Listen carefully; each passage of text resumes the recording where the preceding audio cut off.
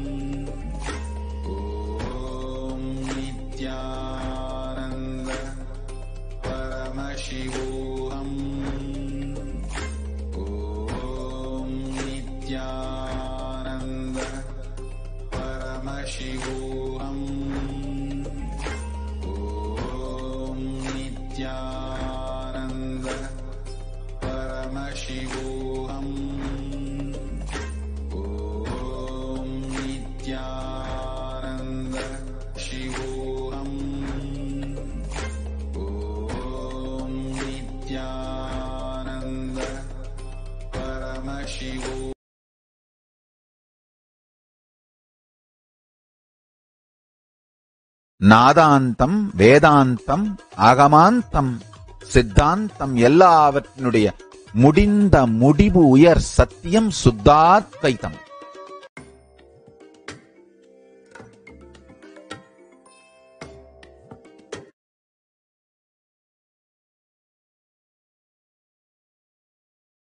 நாதாந்தம் வேதாந்தம் அகமாந்தம் சித்தாந்தம் எல்லாவற்றினுடைய முடிந்த முடிவு உயர் சச்சுத்தாத்வைதம்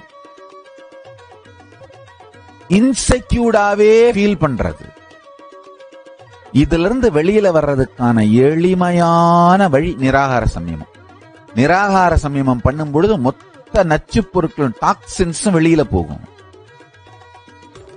குருவோட சிம்பிள் அட்டாச்மெண்ட் சிம்பிள் ஒபீடியன்ஸ் வந்துரும். சிம்பிள் அட்டாச்மெண்ட் பக்தி சிம்பிள் ஒபீடியன்ஸ் கமிட்மெண்ட் கமிட்டட் பக்தி கமிட்டட் பக்தி தான் ஞானமா மலரும். உயிர் மலர வைக்கும். சிம்பிள் அட்டாச்மெண்ட் ரொம்ப ஈஸி சிம்பிள் ஒபீடியன்ஸ் தான் real enlightenment simple attachment simple obedience அது நிகழ்வதற்கு உண்மையான வழி. தெளிந்த தெளிவினால் நிகழும் உண்மையான வழி. நிராகார சம்யமம்.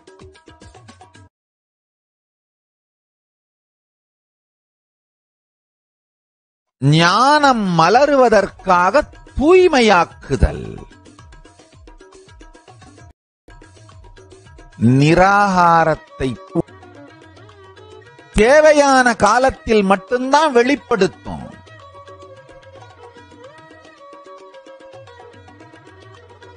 அந்த தேவையை ஏற்படுத்தி அந்த சக்திகளை வெளிப்படுத்த வைக்கிறது தான் நம்முடைய வேலை. அதுதான் தவம். நீங்க எவ்வளோ டயர்டா காலையில ஆறு மணிக்கு வேலைக்கு போயிட்டு ராத்திரி பத்து மணிக்கு.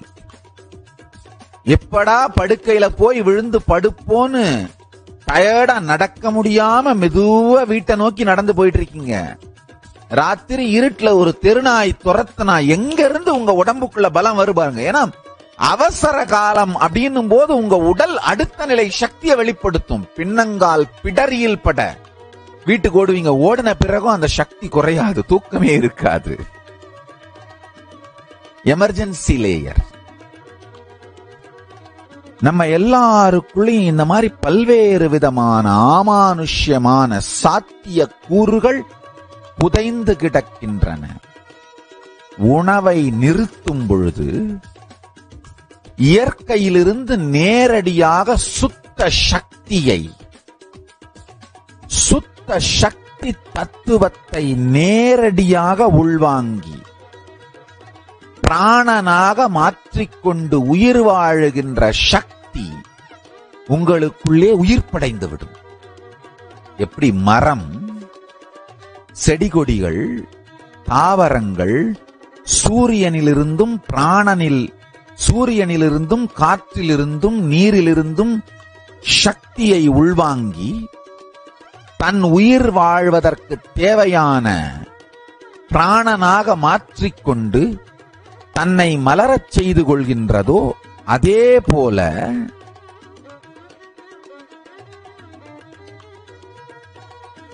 பாலியல் முதிர்ச்சி அடைந்த எல்லா மனித உடலுக்கும் இந்த இயற்கையிலிருந்து பிருத்வி தத்துவம் ஜல தத்துவம் அக்னி தத்துவம் வாயு தத்துவம் ஆகாச தத்துவம் எனும் இந்த ஐந்து பூதங்கள் இந்த ஐந்து தத்துவங்களிலிருந்தும் சக்தியை உள்வாங்கி பிராணனாக மாற்றிக்கொண்டு தன்னை உயிரோடு வைத்துக் கொண்டு தன் உடலை இயக்கிக் கொள்ளுகின்ற சாத்தியம் நமக்கு உண்டு. அதை மலரச் செய்வதற்கு தான் இந்த நிராகார சம்யமம். எல்லாரும் தயவு செய்து வருடத்தில் ஒரு முறையாவது இந்த நிராகார சமயமும் முயற்சி பண்ணுங்க. ஒருவருக்கு அன்னதானம் செய்து நமக்கு ஒரு லட்சம் புண்ணியம் வரும்னா ஒருத்தருக்கு நிராகார சம்யமத்தை பற்றி புரிய வைத்து அவர்களை நிராகாரம் செய்ய வைத்தால் நூறு கோடி புண்ணியம் வரும். மாடண்டே டே மருத்துவம் எல்லாம் திரும்ப திரும்ப திரும்ப சொல்றாங்கய்யா. Fasting boost stem cells regenerative capacity fasting boost stem cells regenerative capacity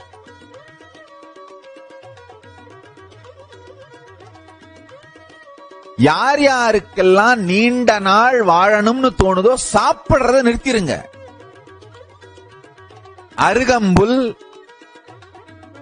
கடுக்காய் ஏலக்காய் கிராம்பு இது மாதிரியான சாதாரணமா கிடைக்கிற பொருட்களை மட்டும் உணவிலே சேர்த்து கொண்டு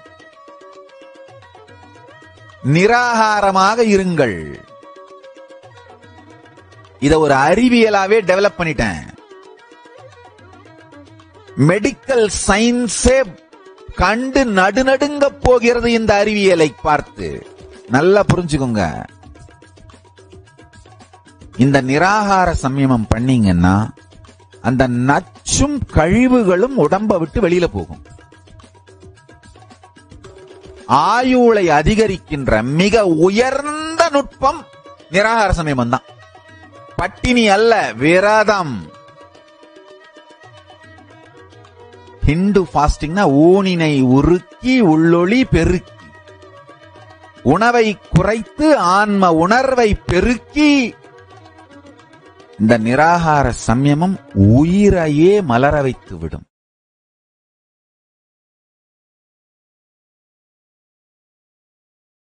நாதாந்தம் வேதாந்தம் அகமாந்தம் சித்தாந்தம் எல்லாவற்றினுடைய முடிந்த முடிவு உயர் சத்தியம் சுத்தாத்வைத்தம் அந்த நிலையை உங்களுக்குள் மலர வைப்பதற்கான சக்தி வாய்ந்த நுட்பம் நிராகாரம்.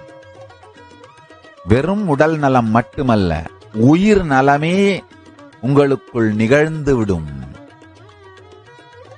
மனசுல தொடர்ந்து இந்த பேனிக் அட்டாக் அதாவது தேவை இல்லாமல் லாஜிக்கே இல்லாம பயம் திடீர் திடீர்னு வரும் பாருங்க.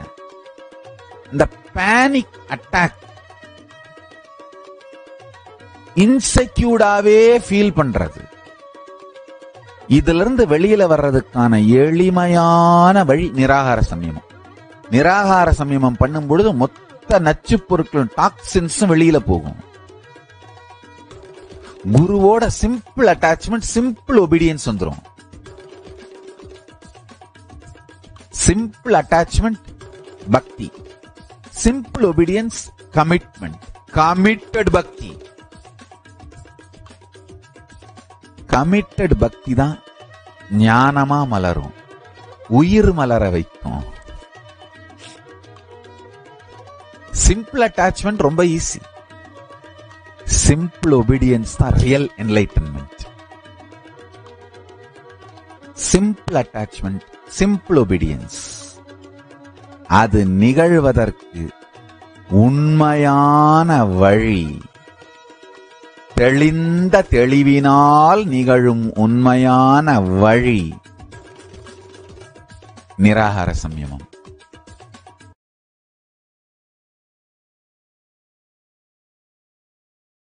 ஞானம் மலருவதற்காக தூய்மையாக்குதல். நிராகாரத்தை போல உடலை தூய்மையாக்குகின்ற இன்னொரு தியான நுட்பம் டெக்னிக் உலகத்திலேயே கிடையாது. உண்மையிலேயே உங்களுடைய உடல் இயற்கையாகவே தனக்குள் புதைத்து வைத்திருக்கப்பட்டிருக்கின்ற சக்திகளை தேவையான காலத்தில் மட்டும்தான் வெளிப்படுத்தும்.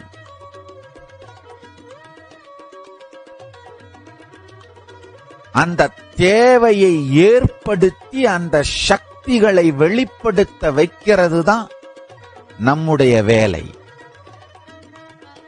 அதுதான் தவம். நீங்க எவ்வளோ டயர்டா காலையில் ஆறு மணிக்கு வேலைக்கு போயிட்டு ராத்திரி பத்து மணிக்கு. எப்படா படுக்கையில போய் விழுந்து படுப்போன்னு டயர்டா நடக்க முடியாம மெதுவா வீட்டை நோக்கி நடந்து போயிட்டு இருக்கீங்க ராத்திரி இருட்டுல ஒரு தெருநாய் துரத்துனா எங்க இருந்து உங்க உடம்புக்குள்ள பலம் வரும் பாருங்க. ஏன்னா அவசர காலம் அப்படின்னும் போது உங்க உடல் அடுத்த நிலை சக்தியை வெளிப்படுத்தும். பின்னங்கால் பிடரியில் பட. வீட்டுக்கு ஓடுவீங்க. ஓடின பிறகும் அந்த சக்தி குறையாது. தூக்கமே இருக்காது. எமர்ஜென்சி லேயர் நம்ம எல்லாருக்குள்ளேயும் இந்த மாதிரி பல்வேறு விதமான ஆமானுஷ்யமான சாத்திய கூறுகள் புதைந்து கிடக்கின்றன. உணவை நிறுத்தும் பொழுது இயற்கையிலிருந்து நேரடியாக சுத்த சக்தியை சுத்த சக்தி தத்துவத்தை நேரடியாக உள்வாங்கி பிராணனாக மாற்றிக்கொண்டு உயிர் வாழுகின்ற சக்தி உங்களுக்குள்ளே உயிர் படைந்துவிடும் எப்படி மரம் செடி கொடிகள் தாவரங்கள் சூரியனிலிருந்தும் பிராணனில் சூரியனிலிருந்தும் காற்றிலிருந்தும் நீரிலிருந்தும் சக்தியை உள்வாங்கி தன் உயிர் வாழ்வதற்கு தேவையான பிராணனாக மாற்றிக்கொண்டு தன்னை மலரச் செய்து கொள்கின்றதோ அதே போல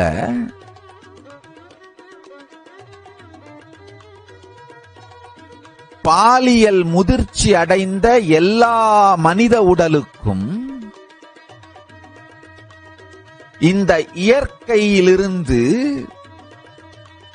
பிருத்வி தத்துவம் ஜல தத்துவம் அக்னி தத்துவம் வாயு தத்துவம் ஆகாச தத்துவம் எனும் இந்த ஐந்து பூதங்கள் இந்த ஐந்து தத்துவங்களிலிருந்தும் சக்தியை உள்வாங்கி பிராணனாக மாற்றிக்கொண்டு தன்னை உயிரோடு வைத்துக் கொண்டு தன் உடலை இயக்கிக் கொள்ளுகின்ற சாத்தியம் நமக்கு உண்டு.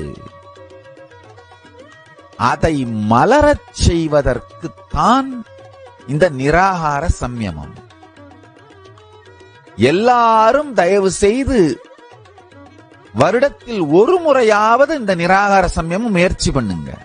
ஒருவருக்கு அன்னதானம் செய்து நமக்கு ஒரு லட்சம் புண்ணியம் வரும்னா ஒருத்தருக்கு நிராகார சம்யமத்தை பற்றி புரிய வைத்து அவர்களை நிராகாரம் செய்ய வைத்தால் நூறு கோடி புண்ணியம் வரும்.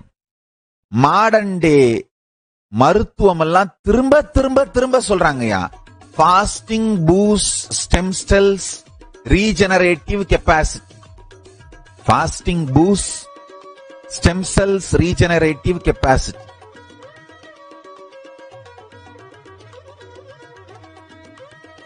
யார் யாருக்கெல்லாம் நீண்ட நாள் வாழணும்னு தோணுதோ சாப்பிடுறத நிறுத்திருங்க. அருகம்புல்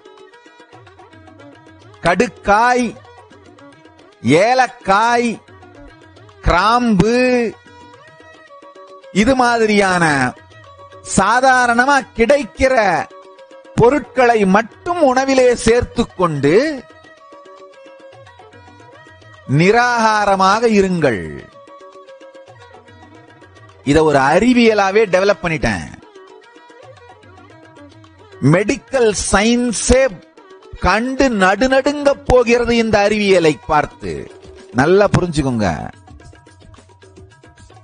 இந்த நிராகார சம்யமம் பண்ணீங்கன்னா அந்த நச்சும் கழிவுகளும் உடம்ப விட்டு வெளியில போகும். ஆயுளை அதிகரிக்கின்ற மிக உயர்ந்த நுட்பம் நிராகார சமயம் தான் பட்டினி அல்ல விரதம்.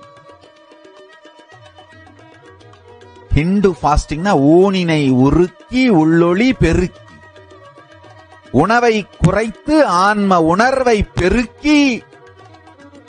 இந்த நிராகார சம்யமம் உயிரையே மலர வைத்து விடும்.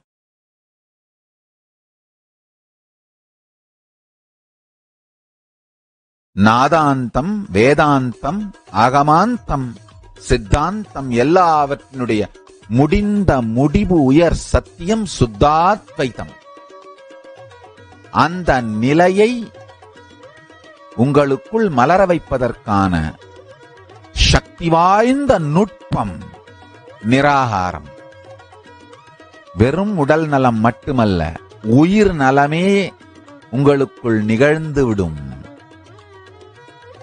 மனசுல தொடர்ந்து இந்த பேனிக் அட்டாக் அதாவது தேவை இல்லாமல் லாஜிக்கே இல்லாம பயம் திடீர் திடீர்னு வரும் பாருங்க.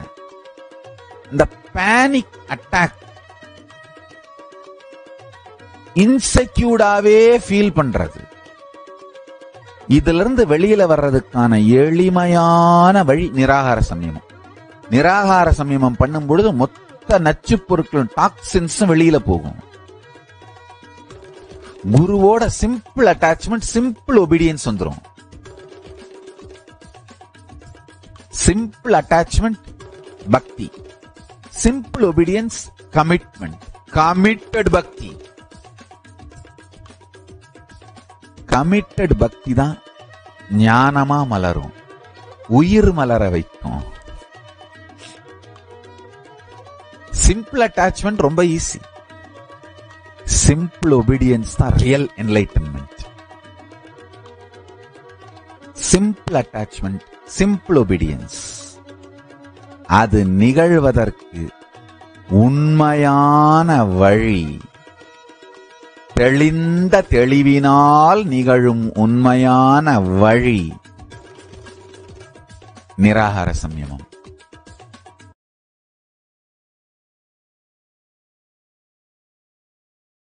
ஞானம் மலருவதற்காக தூய்மையாக்குதல். நிராகாரத்தை போல உடலை தூய்மையாக்குகின்ற இன்னொரு தியான நுட்பம் டெக்னிக் உலகத்திலே கிடையாது. உண்மையிலேயே உங்களுடைய உடல் இயற்கையாகவே தனக்குள் புதைத்து வைத்திருக்கப்பட்டிருக்கின்ற சக்திகளை தேவையான காலத்தில் மட்டும்தான் வெளிப்படுத்தும்.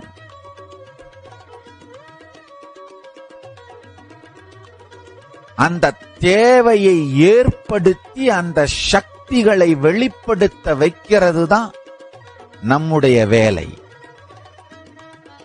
அதுதான் தவம்.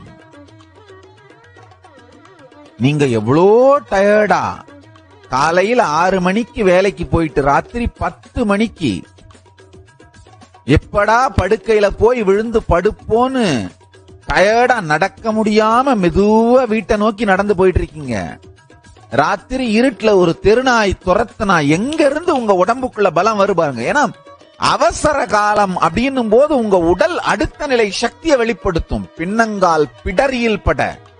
வீட்டுக்கு ஓடுவீங்க ஓடின பிறகும் அந்த சக்தி குறையாது தூக்கமே இருக்காது. எமர்ஜென்சி லேயர் நம்ம எல்லாருக்குள்ளேயும் இந்த மாதிரி பல்வேறு விதமான ஆமானுஷ்யமான சாத்திய கூறுகள் புதைந்து கிடக்கின்றன. உணவை நிறுத்தும் பொழுது இயற்கையிலிருந்து நேரடியாக சுத்த சக்தியை சுத்த சக்தி தத்துவத்தை நேரடியாக உள்வாங்கி பிராணனாக மாற்றிக்கொண்டு உயிர் வாழுகின்ற சக்தி உங்களுக்குள்ளே உயிர்ப்படைந்துவிடும். விடும் எப்படி மரம் செடி கொடிகள் தாவரங்கள் சூரியனிலிருந்தும் பிராணனில் சூரியனிலிருந்தும் காற்றிலிருந்தும் நீரிலிருந்தும் சக்தியை உள்வாங்கி தன் உயிர் வாழ்வதற்கு தேவையான பிராணனாக மாற்றிக்கொண்டு தன்னை மலரச் செய்து கொள்கின்றதோ அதே போல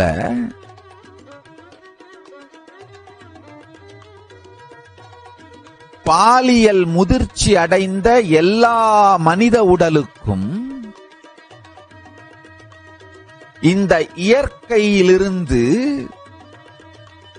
பிருத்வி தத்துவம் ஜல தத்துவம் அக்னி தத்துவம் வாயு தத்துவம் ஆகாச தத்துவம் எனும் இந்த ஐந்து பூதங்கள் இந்த ஐந்து தத்துவங்களிலிருந்தும் சக்தியை உள்வாங்கி பிராணனாக மாற்றிக்கொண்டு தன்னை உயிரோடு வைத்துக் கொண்டு தன் உடலை இயக்கிக் கொள்ளுகின்ற சாத்தியம் நமக்கு உண்டு. அதை மலரச் செய்வதற்குத்தான் இந்த நிராகார சம்யமம். எல்லாரும் தயவு செய்து வருடத்தில் ஒரு முறையாவது இந்த நிராகார சமயமும் முயற்சி பண்ணுங்க. ஒருவருக்கு அன்னதானம் செய்து நமக்கு ஒரு லட்சம் புண்ணியம் வரும்னா ஒருத்தருக்கு நிராகார சம்யமத்தை பற்றி புரிய வைத்து அவர்களை நிராகாரம் செய்ய வைத்தால் நூறு கோடி புண்ணியம் வரும். மாடண்டே டே மருத்துவம் எல்லாம் திரும்ப திரும்ப திரும்ப சொல்றாங்கய்யா. Fasting boost stem cells regenerative capacity fasting boost stem cells regenerative capacity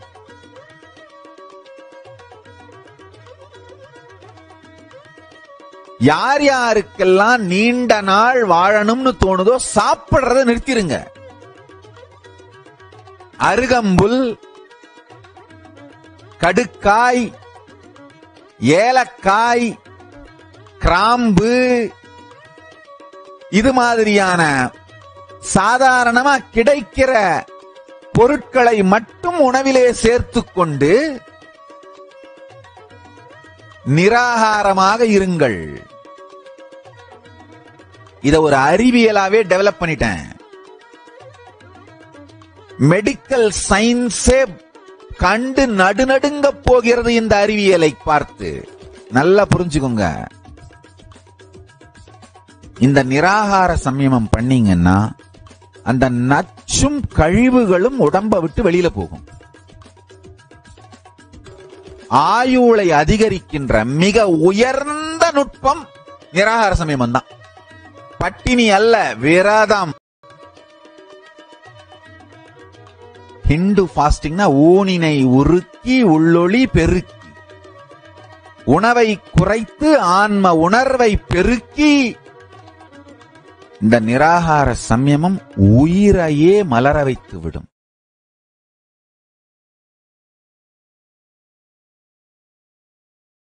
நாதாந்தம் வேதாந்தம் அகமாந்தம் சித்தாந்தம் எல்லாவற்றினுடைய முடிந்த முடிவு உயர் சத்தியம் சுத்தாத்வைத்தம் அந்த நிலையை உங்களுக்குள் மலர வைப்பதற்கான சக்தி வாய்ந்த நுட்பம் நிராகாரம். வெறும் உடல் நலம் மட்டுமல்ல உயிர் நலமே உங்களுக்குள் நிகழ்ந்து விடும். மனசுல தொடர்ந்து இந்த பேனிக் அட்டாக் அதாவது தேவை இல்லாமல் லாஜிக்கே இல்லாம பயம் திடீர் திடீர்னு வரும் பாருங்க. இந்த பேனிக் அட்டாக் இன்செக்யூர்டாவே ஃபீல் பண்றது. இதுல இருந்து வெளியில வர்றதுக்கான எளிமையான வழி நிராகார சமயமம் நிராகார சமயமம் பண்ணும் பொழுது மொத்த நச்சு பொருட்களும் டாக்ஸின்ஸும் வெளியில போகும். குருவோட சிம்பிள் அட்டாச்மெண்ட் சிம்பிள் ஒபீடியன்ஸ் வந்துரும். சிம்பிள் அட்டாச்மெண்ட் பக்தி சிம்பிள் ஒபீடியன்ஸ் கமிட்மெண்ட் கமிட்டட் பக்தி கமிட்டட் பக்தி தான் ஞானமா மலரும். உயிர் மலர வைக்கும். சிம்பிள் அட்டாச்மெண்ட் ரொம்ப ஈஸி சிம்பிள் ஒபீடியன்ஸ் தான் real enlightenment simple attachment simple obedience அது நிகழ்வதற்கு உண்மையான வழி. தெளிந்த தெளிவினால் நிகழும் உண்மையான வழி. நிராகார சம்யமம்.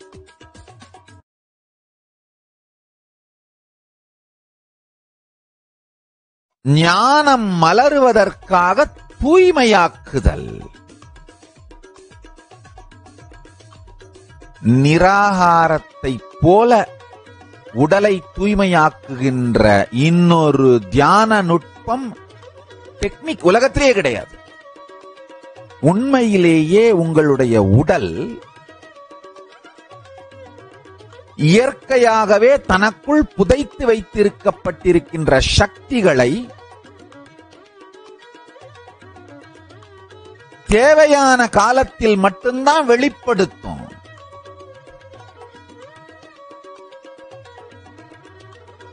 அந்த தேவையை ஏற்படுத்தி அந்த சக்திகளை வெளிப்படுத்த வைக்கிறது தான் நம்முடைய வேலை. அதுதான் தவம். நீங்க எவ்வளோ டயர்டா காலையில் ஆறு மணிக்கு வேலைக்கு போயிட்டு ராத்திரி பத்து மணிக்கு. எப்படா படுக்கையில போய் விழுந்து படுப்போன்னு டயர்டா நடக்க முடியாம மெதுவா வீட்டை நோக்கி நடந்து போயிட்டு இருக்கீங்க ராத்திரி இருட்டுல ஒரு தெருநாய் துரத்துனா எங்க இருந்து உங்க உடம்புக்குள்ள பலம் வரும் பாருங்க. ஏன்னா அவசர காலம் அப்படின்னும் போது உங்க உடல் அடுத்த நிலை சக்தியை வெளிப்படுத்தும். பின்னங்கால் பிடரியில் பட. வீட்டுக்கு ஓடுவீங்க. ஓடின பிறகும் அந்த சக்தி குறையாது. தூக்கமே இருக்காது. எமர்ஜென்சி லேயர் நம்ம எல்லாருக்குள்ளேயும் இந்த மாதிரி பல்வேறு விதமான ஆமானுஷ்யமான சாத்திய கூறுகள் புதைந்து கிடக்கின்றன.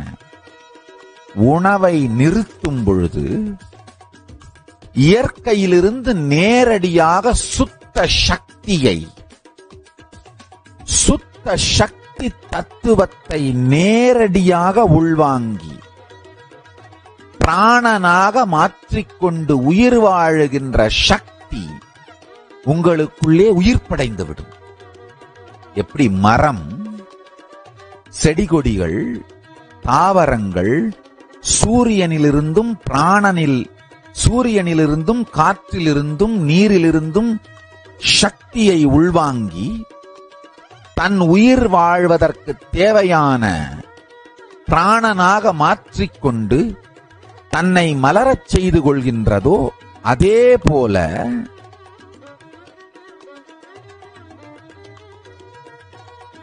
பாலியல் முதிர்ச்சி அடைந்த எல்லா மனித உடலுக்கும் இந்த இயற்கையிலிருந்து பிருத்வி தத்துவம் ஜல தத்துவம் அக்னி தத்துவம் வாயு தத்துவம் ஆகாச தத்துவம் எனும் இந்த ஐந்து பூதங்கள் இந்த ஐந்து தத்துவங்களிலிருந்தும் சக்தியை உள்வாங்கி பிராணனாக மாற்றிக்கொண்டு தன்னை உயிரோடு வைத்துக் கொண்டு தன் உடலை இயக்கிக் கொள்ளுகின்ற சாத்தியம் நமக்கு உண்டு. அதை மலரச் செய்வதற்குத்தான் இந்த நிராகார சம்யமம். எல்லாரும் தயவு செய்து வருடத்தில் ஒரு முறையாவது இந்த நிராகார சமயமும் முயற்சி பண்ணுங்க. ஒருவருக்கு அன்னதானம் செய்து நமக்கு ஒரு லட்சம் புண்ணியம் வரும்னா ஒருத்தருக்கு நிராகார சம்யமத்தை பற்றி புரிய வைத்து அவர்களை நிராகாரம் செய்ய வைத்தால் நூறு கோடி புண்ணியம் வரும். மாடர்ன் டே மருத்துவம் எல்லாம் திரும்ப திரும்ப திரும்ப சொல்றாங்கய்யா. Fasting boost stem cells regenerative capacity fasting boost stem cells regenerative capacity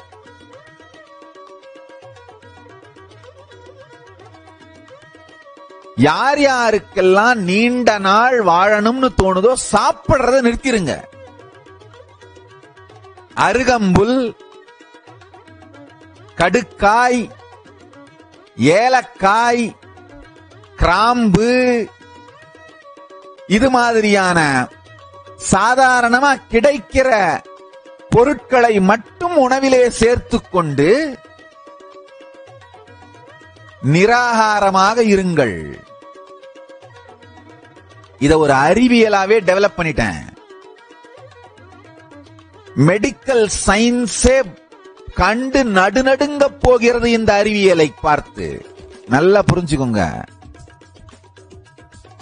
இந்த நிராகார சம்யமம் பண்ணீங்கன்னா அந்த நச்சும் கழிவுகளும் உடம்ப விட்டு வெளியில போகும்.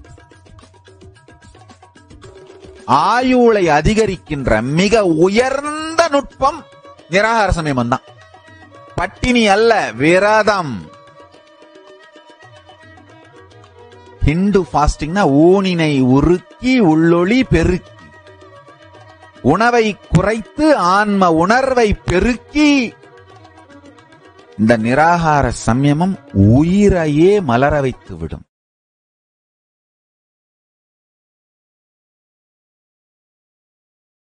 நாதாந்தம் வேதாந்தம் ஆகமாந்தம் சித்தாந்தம் எல்லாவற்றினுடைய முடிந்த முடிவு உயர் சத்தியம் சுத்தாத்வைதம் அந்த நிலையை உங்களுக்குள் மலர வைப்பதற்கான சக்தி வாய்ந்த நுட்பம் நிராகாரம். வெறும் உடல் நலம் மட்டுமல்ல உயிர் நலமே உங்களுக்குள் நிகழ்ந்துவிடும்.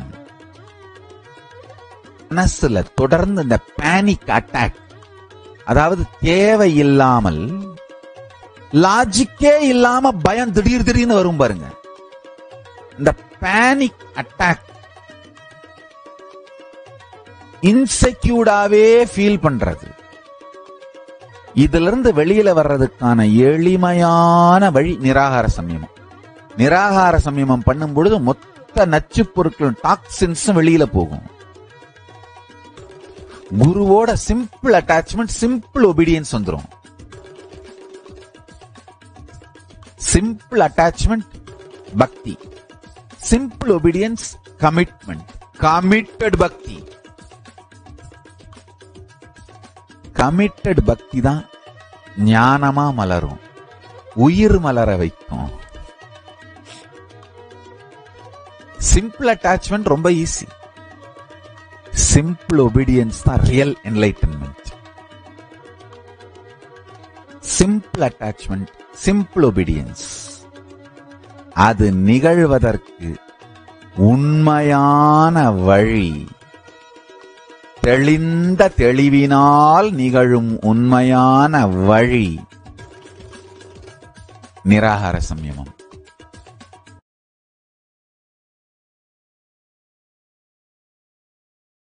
ஞானம் மலருவதற்காக தூய்மையாக்குதல். நிராகாரத்தை போல உடலை தூய்மையாக்குகின்ற இன்னொரு தியான நுட்பம் டெக்னிக் உலகத்திலேயே கிடையாது. உண்மையிலேயே உங்களுடைய உடல் இயற்கையாகவே தனக்குள் புதைத்து வைத்திருக்கப்பட்டிருக்கின்ற சக்திகளை தேவையான காலத்தில் மட்டும்தான் வெளிப்படுத்தும்.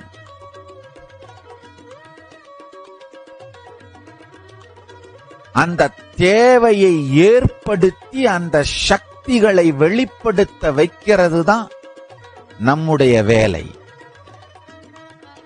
அதுதான் தவம். நீங்க எவ்வளோ டயர்டா காலையில் ஆறு மணிக்கு வேலைக்கு போயிட்டு ராத்திரி பத்து மணிக்கு.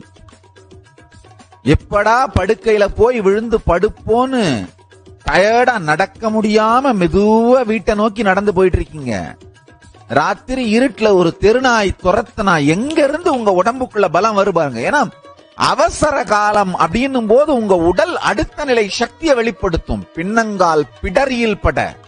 வீட்டுக்கு ஓடுவீங்க ஓடின பிறகும் அந்த சக்தி குறையாது தூக்கமே இருக்காது. எமர்ஜென்சி லேயர் நம்ம எல்லாருக்குள்ளேயும் இந்த மாதிரி பல்வேறு விதமான ஆமானுஷ்யமான சாத்திய கூறுகள் புதைந்து கிடக்கின்றன.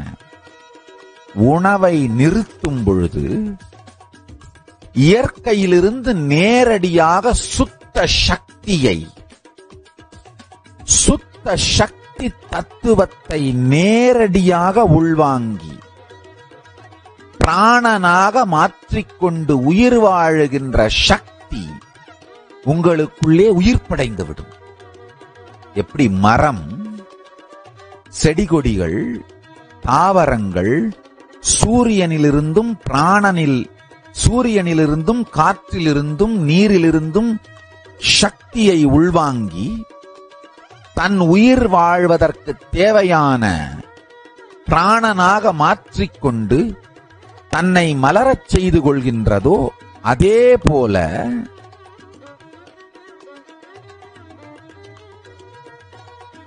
பாலியல் முதிர்ச்சி அடைந்த எல்லா மனித உடலுக்கும் இந்த இயற்கையிலிருந்து பிருத்வி தத்துவம் ஜல தத்துவம் அக்னி தத்துவம் வாயு தத்துவம் ஆகாச தத்துவம் எனும் இந்த ஐந்து பூதங்கள் இந்த ஐந்து தத்துவங்களிலிருந்தும் சக்தியை உள்வாங்கி பிராணனாக மாற்றிக்கொண்டு தன்னை உயிரோடு வைத்துக் கொண்டு தன் உடலை இயக்கிக் கொள்ளுகின்ற சாத்தியம் நமக்கு உண்டு. அதை மலரச் செய்வதற்குத்தான் இந்த நிராகார சம்யமம். எல்லாரும் தயவு செய்து வருடத்தில் ஒரு முறையாவது இந்த நிராகார சம்யமும் முயற்சி பண்ணுங்க. ஒருவருக்கு அன்னதானம் செய்து நமக்கு ஒரு லட்சம் புண்ணியம் வரும்னா ஒருத்தருக்கு நிராகார சம்யமத்தை பற்றி புரிய வைத்து அவர்களை நிராகாரம் செய்ய வைத்தால் நூறு கோடி புண்ணியம் வரும். மாடர்ன் டே மருத்துவம் எல்லாம் திரும்ப திரும்ப திரும்ப சொல்றாங்கய்யா. Fasting boost stem cells regenerative capacity fasting boost stem cells regenerative capacity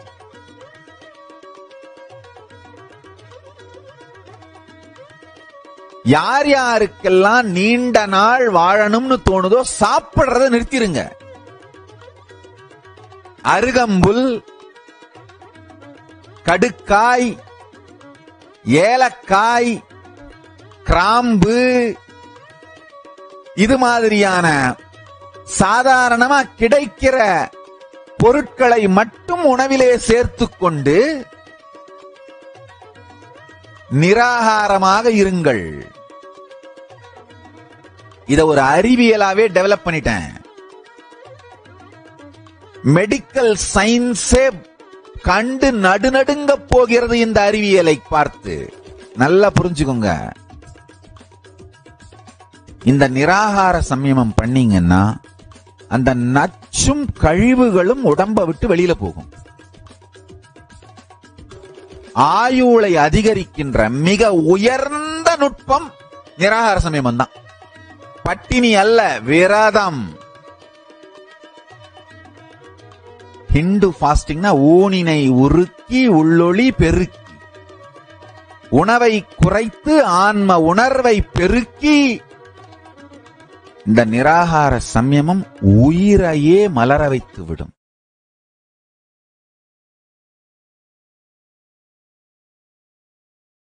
நாதாந்தம் வேதாந்தம் ஆகமாந்தம் சித்தாந்தம் எல்லாவற்றினுடைய முடிந்த முடிவு உயர் சத்தியம் சுத்தாத்வைதம் அந்த நிலையை உங்களுக்குள் மலர வைப்பதற்கான சக்தி வாய்ந்த நுட்பம் நிராகாரம்.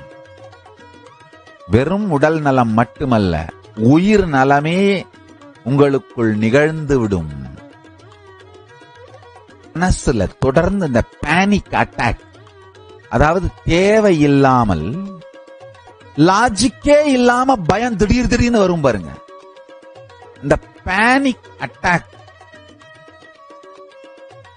இன்செக்யூர்டாவே ஃபீல் பண்றது. இதுல இருந்து வெளியில வர்றதுக்கான எளிமையான வழி நிராகார சமயமம். நிராகார சமயமம் பண்ணும் பொழுது மொத்த நச்சு பொருட்களும் டாக்ஸின்ஸும் வெளியில போகும். குருவோட சிம்பிள் அட்டாச்மெண்ட் சிம்பிள் ஒபீடியன்ஸ் வந்துரும். சிம்பிள் அட்டாச்மெண்ட் பக்தி சிம்பிள் ஒபீடியன்ஸ் கமிட்மெண்ட் கமிட்டட் பக்தி கமிட்டட் பக்தி தான் ஞானமா மலரும். உயிர் மலர வைக்கும்.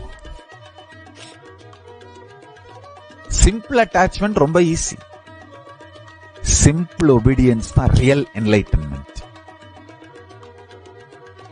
simple attachment simple obedience அது நிகழ்வதற்கு உண்மையான வழி.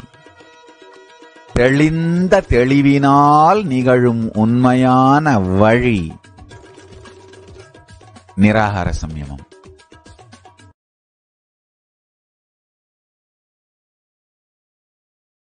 ஞானம் மலருவதற்காக தூய்மையாக்குதல்.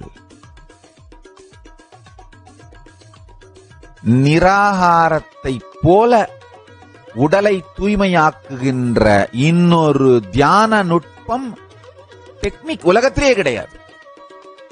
உண்மையிலேயே உங்களுடைய உடல் இயற்கையாகவே தனக்குள் புதைத்து வைத்திருக்கப்பட்டிருக்கின்ற சக்திகளை தேவையான காலத்தில் மட்டும்தான் வெளிப்படுத்தும்.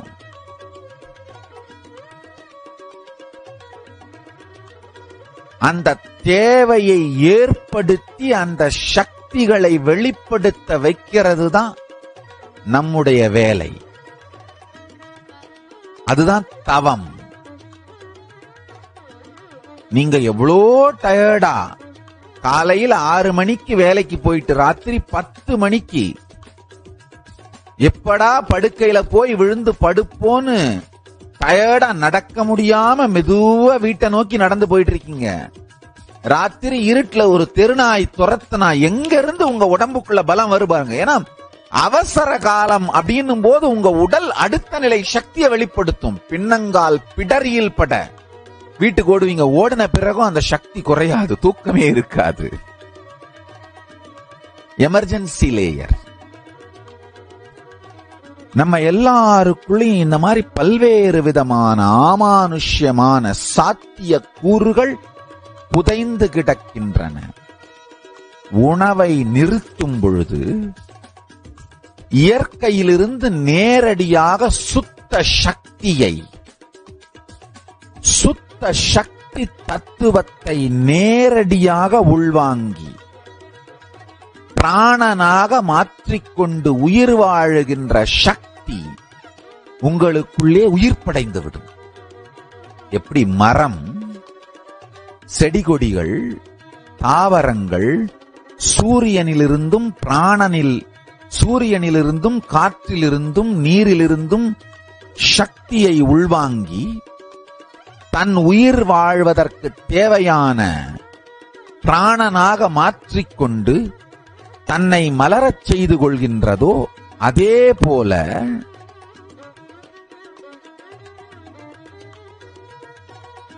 பாலியல் முதிர்ச்சி அடைந்த எல்லா மனித உடலுக்கும் இந்த இயற்கையிலிருந்து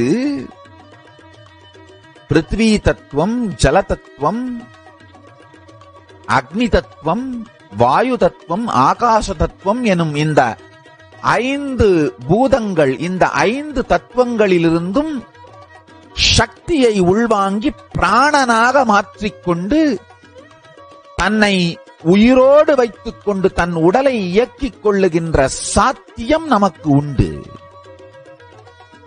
அதை மலரச் செய்வதற்குத்தான் இந்த நிராகார சம்யமம். எல்லாரும் தயவு செய்து வருடத்தில் ஒரு முறையாவது இந்த நிராகார சமயம் முயற்சி பண்ணுங்க. ஒருவருக்கு அன்னதானம் செய்து நமக்கு ஒரு லட்சம் புண்ணியம் வரும்னா ஒருத்தருக்கு நிராகார சம்யமத்தை பற்றி புரிய வைத்து அவர்களை நிராகாரம் செய்ய வைத்தால் நூறு கோடி புண்ணியம் வரும். மாடண்டே டே மருத்துவம் எல்லாம் திரும்ப திரும்ப திரும்ப சொல்றாங்கய்யா. Fasting boost stem cells regenerative capacity fasting boost stem cells regenerative capacity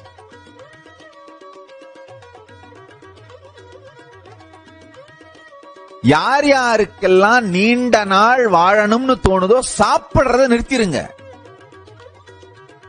அருகம்புல் கடுக்காய் ஏலக்காய் கிராம்பு இது மாதிரியான சாதாரணமா கிடைக்கிற பொருட்களை மட்டும் உணவிலே சேர்த்து கொண்டு நிராகாரமாக இருங்கள். இத ஒரு அறிவியலாவே டெவலப் பண்ணிட்டேன். மெடிக்கல் சயின்ஸே கண்டு நடுநடுங்க போகிறது இந்த அறிவியலை பார்த்து நல்லா புரிஞ்சுக்கோங்க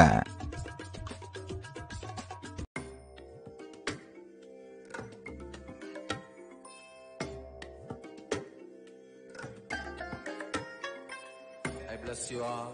Let you all open all your three eyes and manifest the powers of Mahasadashiva. Om Nityananda. परमशिवोऽहम्।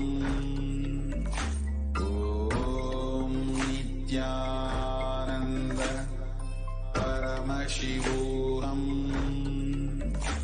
ॐ नित्यानन्द परमशिवोऽहम्।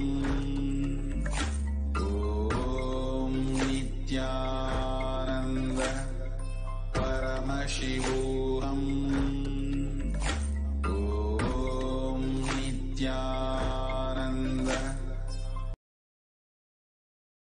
परमसुगदम् केवलम् नादान्तं वेदान्तं।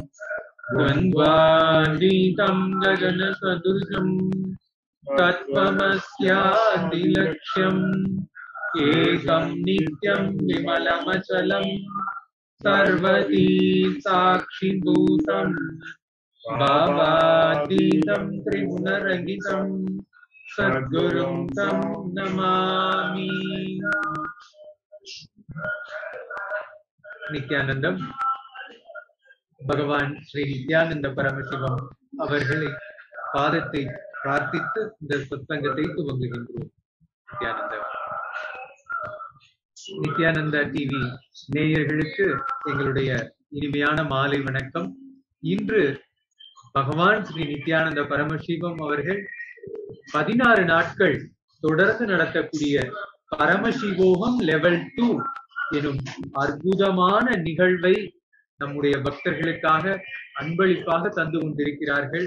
உலகம் முழுவதும் இந்த பரமசிவோகம் லெவல் டூ என்ற இந்த ஒரு நிகழ்ச்சி ஒவ்வொரு அந்த ஜீவன் முக்தி அடைய வேண்டும் என்று வந்திருக்கின்ற தேடுதல் இருக்கின்ற அத்துணை ஜீவன்களுக்கும் இது ஒரு மிகப்பெரிய வரப்பிரசாதம். இப்போ ரொம்ப ரொம்ப சக்சஸ்ஃபுல்லா இப்போ இன்னைக்கு சுவாமிஜி அந்த இரண்டாவது நாள் அஹ், தர்ஷன் சுவாமிஜி இப்போ கொடுத்துட்டு இருக்காங்க உலகம் முழுவதும் இருக்கிற நம்ம பக்தர்கள் அதை ஆழ்ந்து அனுபவித்து அதிலிருந்து மிகப்பெரிய ஆன்மீக பலனை அடைந்துட்டு இருக்காங்க இது ஒவ்வொரு பக்தர்களுக்கும் இது வந்து ஒரு மிகப்பெரிய வரப்பிரசாதமாக அமைந்திருக்கின்றது.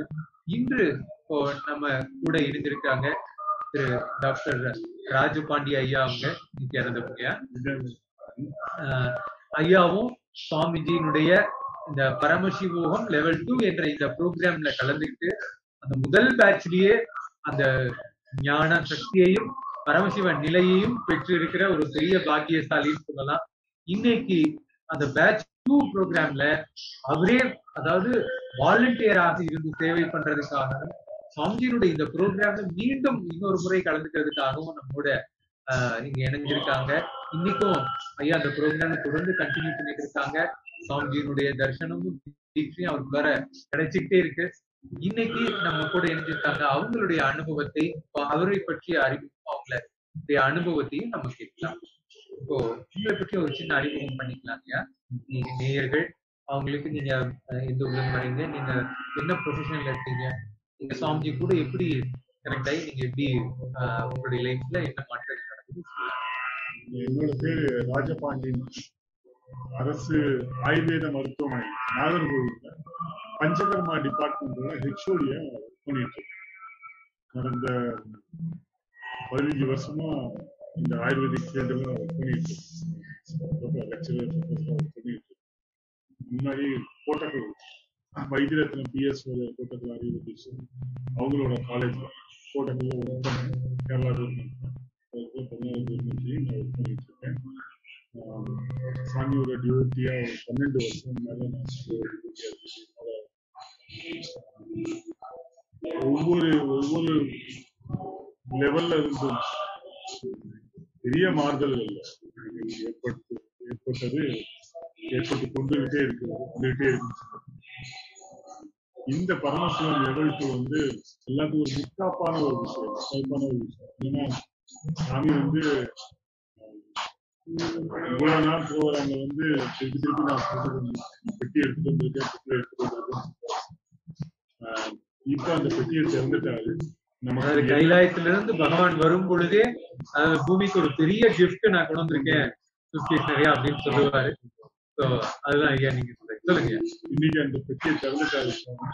பெட்டியை திறந்து நீங்க நமக்கு அதாவது நம்ம வேதங்கள்லையும் புராணங்களையும் இதிகாசங்களையுமே வந்து ஏழு வச்சு நம்ம போறது இந்த அதை வச்சு ஒரு கண்ணை மூடிட்டு உட்கார்ந்து இருந்தோம் அப்படின்னா அந்த அந்த ஆகாசிக்கு வாழ்க்கையில என்னென்னலாம் இருக்கு அதை பத்தி ஒருத்தரை பத்தி சொல்றது சொல்றது.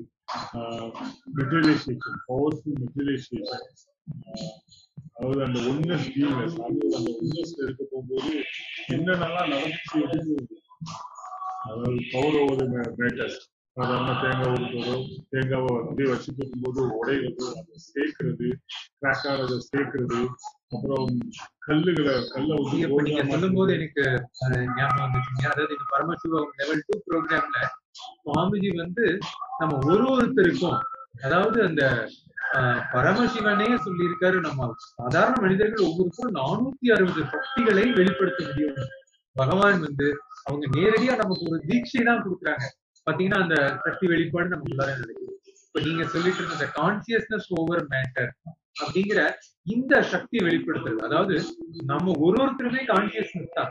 அதாவது பரமசிவன் அப்படிங்கிற வடிவம் தான்.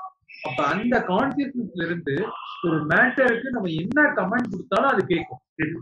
அதாவது இப்போ உதாரணத்துக்கு ஒரு சாலிட் ஆப்ஜெக்ட் இப்போ இதை வந்து நம்ம உதாரணத்துக்கு தேங்காய் எடுத்துக்கோம் இப்ப இது நாம ஒன்னஸ்ல இருந்து அதாவது நாம் வேறு அந்த பொருள் வேறு இல்லை அப்படிங்கிற அந்த உணர்வுல இருந்து அஹ் பகவான் அதாவது நமக்கு கொடுத்த அந்த தீட்சையின் மூலமாக பரமசிவ நிலையிலிருந்து நாம அந்த பரமசிவன்கிற உணர்வை புரிந்துகிட்டு பொறுமைத்தன்மையிலிருந்து நாம கமெண்ட் பண்ணணும்னா அதாவது நம்ம சக்தியை வெளிப்படுத்தணும்னா அந்த கோகனட் அப்படியே மூவ் ஆகுது. இன்னும் அடுத்து ஆஹ் இன்னும் உயர்ந்த நிலை சொன்னா நீங்க சொன்ன அந்த கோகனட் ரெண்டா உடையிறது திருப்பி கிராக் ஆகுது. உள்ள வெளியே வந்து திருப்பி அந்த கிராக் ஆனது சேர்த்து சேர்த்து. வைக்கும் சேர்த்து வைக்க முடியும்.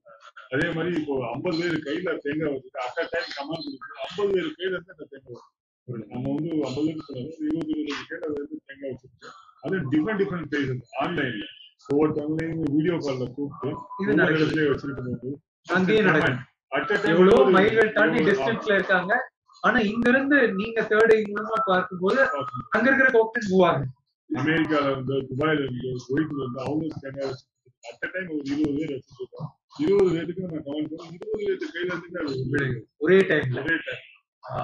இது வந்து இப்போ நமக்கு வந்து இது சாதாரண சுவாமி கொடுத்த தீட்சையின் மூலமா நடந்திருக்கு இல்லையா? அதுவே நேயர்களுக்கு பார்க்கும்போது எப்படி இதெல்லாம் நடக்கும்? ஒரு ஒரு ஆச்சரியமான ஒரு விஷயமா இருக்கும். அதே போல டைரக்ட் ஆகும் லைவ் டெமான்ஸ்ட்ரேஷன் நாங்க பண்றதுக்கும் ரெடியா இருக்கோம். அதாவது நீங்க நேயர்கள் யாராவது உங்களுடைய விருப்பத்திற்காகவே நீங்க உங்களுடைய கையில நீங்க கோஆபரேட் வச்சிருந்தா நீங்க அதாவது தூய வீடியோ கான்பரன்ஸ் கூட கனெக்ட் ஆனீங்கன்னா உங்களுக்கு கையில இருக்கக்கூடிய அந்த சாலிடான ஆப்ஜெக்ட் எதுவா இருந்தாலும் சரி அத தேர்டை மூலமா பகவான் கொடுத்திருக்கிற இந்த தீட்சையின் மூலமா நேரடியாக பார்த்து அந்த மேட்டரை மூவ் பண்ண வைக்க முடியும். இது நாங்க வந்து ஆஹ், ரொம்ப ஓப்பனா வெளிப்படையாக இந்த சக்தியை வெளிப்படுத்துறோம் அப்படிங்கறத எங்களால இவ்வளவு தைரியமா சொல்ல முடியுதுன்னா அதுக்கு காரணம் சுவாமிஜியினுடைய அந்த சக்தி. அவரோட ஒன்னஸ் இது வந்து டைம் டெஸ்டட் ஃபுல் ப்ரூஃப் சிஸ்டமேட்டிக்கான ஒரு மெத்தட சுவாமி எங்களுக்கு கொடுத்துருக்காங்க. இந்த மெத்தடு தான் வந்து நம்ம சனாதன தர்மம் இந்திய மெத்தடு இந்த மெத்தடு பிரகாரம் தான் முந்தின காலத்துல குருகுல கல்விகள் எல்லாமே அமைஞ்சிருக்கு இந்த நம்ம எல்லா எல்லா புக்கும் எல்லா அறுபத்தி நாலு கலைகளுமாகட்டும் இந்திய இந்தியாவில் இருக்கிற எல்லா சாஸ்திரமும் எல்லா ரிஷிகளும் முனிகளும் அந்த பரமசிவனோட ஒன்னு இருந்து தான் எல்லாமே கொடுத்துருக்காங்க. இப்ப மாதிரி லேப்ல வச்சு டெஸ்ட் பண்ணுது ஜஸ்ட் பரமசிவனோட ஒன்னஸ்ல இருக்கும்போது அவரு அந்த எதுக்கு அந்த கட்டடக்கலையாகட்டும் இசையாகட்டும் நாட்டியமாகட்டும் மருத்துவமாகட்டும் அஹ் பத்தின சயின்ஸ் ஆகட்டும் சாப்பாடுகளை பத்திய ஒரு நலம் சமையல் எப்படி பண்றது சயின்ஸ் ஆகட்டும் போர் பயிற்சிகள் ஆகட்டும் எல்லாமே ரிஷிகளும் முனிவர்களும் அந்த பரமசிவனோட ஒன்னஸ்ல இருந்து அது மூலமாக தான் டெலிவரி பண்ணாங்க நம்மளும் அந்த காலத்துல அந்த ஒன்னஸை குறித்து தான் எல்லாமே இப்போ அந்த எஜுகேஷன் சிஸ்டம் சாமியோட மொத்த விஷன் அந்த எஜுகேஷன் சிஸ்டத்தை திருப்பியும் இந்த உலகத்துல ரிவைவ் பண்றது தான் எல்லா நம்மளோட பழைய எஜுகேஷன் சிஸ்டம் அந்த பரமசிவனே கொடுத்த அந்த எஜுகேஷன் சிஸ்டம் ஒன்னஸ் ஒன்னஸ் வித்த பரமசிவா நீங்க அந்த பரமசிவனோட ஒன்னஸ்ல இருந்தீங்க அப்படின்னா அந்த நீங்களும் பரமசிவனும் வேற சோகம் வேற கிடையாது. நீங்க சொல்றதுக்கெல்லாம் இந்த பிரபஞ்சம் இந்த பிரபஞ்சத்தோட அந்த கான்சியஸ் கான்சியஸ்னஸ் அந்த பிரபஞ்சத்தோட பிசியாலஜி அனாட்டமி அதோட மொத்தமுமே நம்மளோட ரெக்வஸ்டுக்கு ஒர்க் பண்ணுதுங்க. அதை நாங்க அதான் இங்கேயோ உட்காந்துருக்காங்க ஐம்பது பேர் உட்காந்து ஜஸ்ட் நானும் பரமசிவன் அந்த ஒன்று இருக்கும்போது ஒரு ரெக்வஸ்ட் கொடுத்த நேரத்துல எல்லாத்துக்குமே இங்க உள்ளது மத்தவங்களுக்கு வந்து ஈவன் கையில மெட்டீரியலைசேஷன் ஆச்சு. அப்படி டிஃப்ரெண்ட் டிஃப்ரெண்ட் சைஸஸ் எல்லாம் சக்தி வெளிப்பாடு நடக்காது. ஐயா இது நேயர்கள் அதாவது அவங்களுடைய பார்வையில இருந்து இது பார்க்கும்போது இது ஒரு உள்ளுக்குள்ளார ஒரு கேள்வி இருக்கலாம். அதாவது இப்ப நீங்க சொல்றீங்க கான்சியஸ்னஸ் ஓவர் மேட்டர் இப்ப தேங்காய் உருட்டுறது மூலமா பிராக்டிக்கலா நம்முடைய லைஃபுக்கு என்ன விதமான பலன்? இப்போ ஆஹ், சக்தி வெளிப்படுத்துறீங்க. இப்போ இதனால டைரக்டா அவங்களுடைய லைஃப்க்கு என்ன இம்ப்ளிமெண்ட் பண்ண முடியும்? அவங்களுடைய லைஃப்ல இது எப்படி பெனிஃபிட் ஆகும்? இதை சொல்ல முடியும்? இந்த ஒவ்வொரு சக்தி வெளிப்பாடுலையும் போக போக போக என்ன நடக்குது நான் வந்து எப்பயுமே சிவனோட அந்த அந்த பரமசிவனோட சாமியோட ஒன்னஸ் கிடைக்கிறது போது அவ்வளவு ஒரு ஒரு காட்டும் இல்லாம அந்த ஒரு இனிமையான ஃபீலிங்ல இருக்க முடியுது. இனிமையான ஃபீலிங் தான் இனிமையில. இதே அந்த ஃபீலிங்கை நம்ம விட்டோம் அப்படின்னா இந்த மனசுக்கு அந்த டெலியூஷன் நாய் வந்து கண்டினியூவா சிக்சாக் பண்ணி நம்ம ஒரு டிப்ரெஷன்ல போட்டு விட்டுருக்கு ஒரு இனிமையும் அதாவது காரணமில்லாத ஒரு மன்றத்தும் நமக்குள்ள இருக்குது. ரெண்டாவது உங்களுக்கு அது வெற்றி நீங்க என்ன நினைச்சாலும் அந்த காசுமா நமக்கு செய்யுது அது வெற்றி வெற்றி வெற்றியவே தருது. அந்த இது வெற்றி அப்படின்னா ஒரு பெரிய சக்சஸ்ஃபுல்லான ஒரு லைஃபுக்கு உதவுது. நான் வந்து எது- எதை பார்த்து அதாவது இந்த வேலை செய்ய முடியுமா அந்த வேலை செய்ய முடியுமா அந்த கவலை வேண்டாம் ஜஸ்ட் ஒன்னு சேர்ந்தா போதும் அது வாழ்க்கைக்கு வாழ்க்கைக்கு அது ரொம்ப ரொம்ப முக்கியம். பிராக்டிக்கலான லைஃப் இப்போ அந்த ஒரு சம்பவம் எனக்கு ஞாபகம் வந்ததுங்கய்யா இந்த கான்சியஸ்னஸ் ஓவர் மேட்டர் அப்படிங்கிற இந்த சக்தி வந்து டைரக்டா எப்படி அந்த மக்களுக்கு பயனடையுதுங்கிறது நேரடியா பார்க்கணும். அதாவது ஒரு பேஷண்ட் அவங்க வந்து கிட்னி ஸ்டோன் இருந்து அவங்க வழி தாங்க முடியாம எப்படியாவது ஹெல்ப் பண்ணணும் அப்படின்னு சொல்லி சுவாமிஜி கிட்ட பாலசிங் அதாவது நேரடியா சுவாமிஜி கிட்ட தீட்சை பெற்ற அந்த குருகுல் குழந்தைங்க அவங்க வந்து ஜஸ்ட் அந்த கான்சியஸ் ஓவர் மேட்டர் அப்படிங்கிற அந்த தீட்சை வாங்கின குழந்தைங்க சக்தியை வெளிப்படுத்தினாங்க. அதாவது உங்களுக்குள்ளார அந்த கிட்னி அதாவது ரீனல் ஸ்டோன் அது வந்து வெளியே வந்துடும் ஜஸ்ட் உடைஞ்சு வெளியே வந்துடும் ஸோ அப்போ எவ்வளவு பெரிய மேட்டரா இருந்தாலும் சரி நம்ம உடம்புல இருந்து அதை மூவ் பண்றாங்க ஸோ எந்த விதமான மெடிசனோ எந்த விதமான டயக்னோஸ் இன்வெஸ்டிகேஷன் மெத்தட் எதுவுமே கிடையாது. ஜஸ்ட் தேர்ட் ஐ பவர் அவங்களுக்குள்ளார கான்சியஸ்னஸ் ஒரு மேட்டர் அப்படிங்கிற இந்த சக்தி வெளிப்படுத்தினாங்க டைரக்டா அவங்களுடைய வாழ்க்கையை படம் கிடைச்சாங்க அதாவது இது பாத்தீங்கன்னா அவ கேட்கறது பிரியா என்ன இவ்வளவு பெரிய மிராக்கலான விஷயமான இருக்கும் ஆனா இத ரொம்ப ஈஸியா சாமி கொடுத்த தீட்சை மூலமா அந்த சக்தி வெளிப்பாடு நிகழ்த்தி இருக்காங்க சாமி ஒரு இதே மாதிரி இந்த கான்சியஸ் ஓவர் மேட்டர் இவன் ஹார்ட்ல பிளாக் இருந்தாலும் பிரெயின்ல பிளாக் இருந்தாலும் இந்த பிளாக் நம்ம ரிமூவ் பண்ண ரிமூவ் பண்ண ரிமூவ் பண்ண அதுவும் ஒரு சின்ன மேட்டர் தான் எந்த சர்ஜரியும் இல்லாம எந்த விதமான நான் வந்து அஸ் டாக்டர் தான் நான் நம்பவே கிடையாது.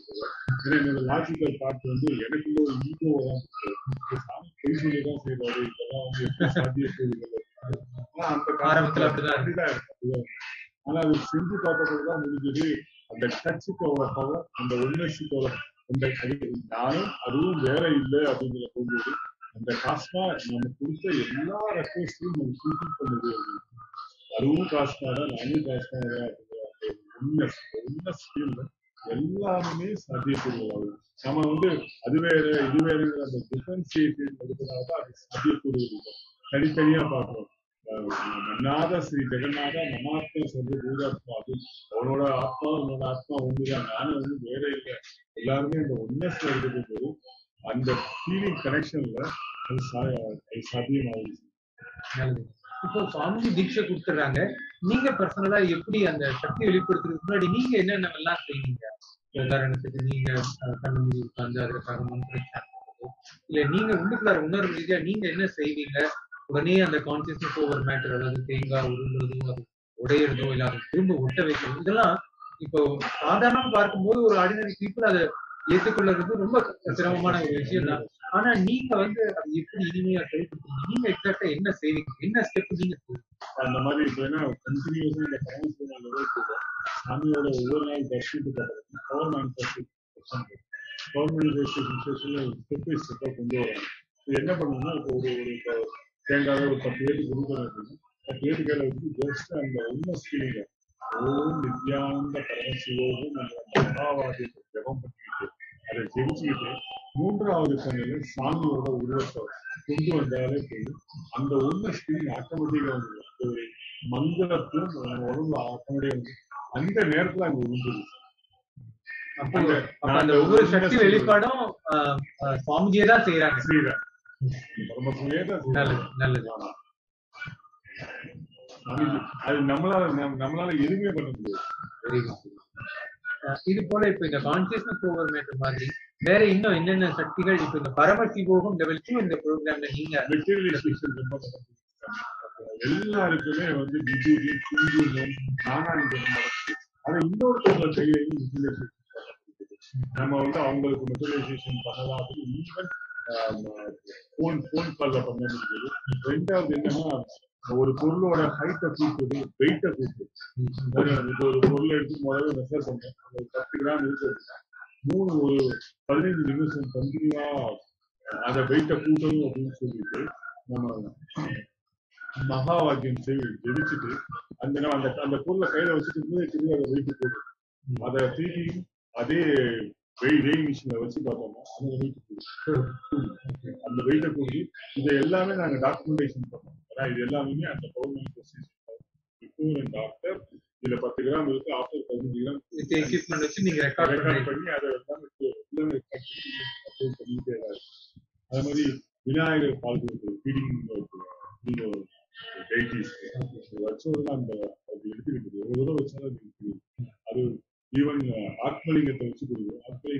ஸ்படிகம் அதை வந்து அது வந்து ஆத்மலிங்கம் அதை குடிங்களா அது எப்படி இந்த மாதிரி சயின்ஸா லாஜிக்கல் குடியும் வைக்க முடியாது. இப்ப அந்த ஒரு ஒரு- பொருளோட வெயிட் கூடுது அப்படின்னா என்னால பாக்குறோம்.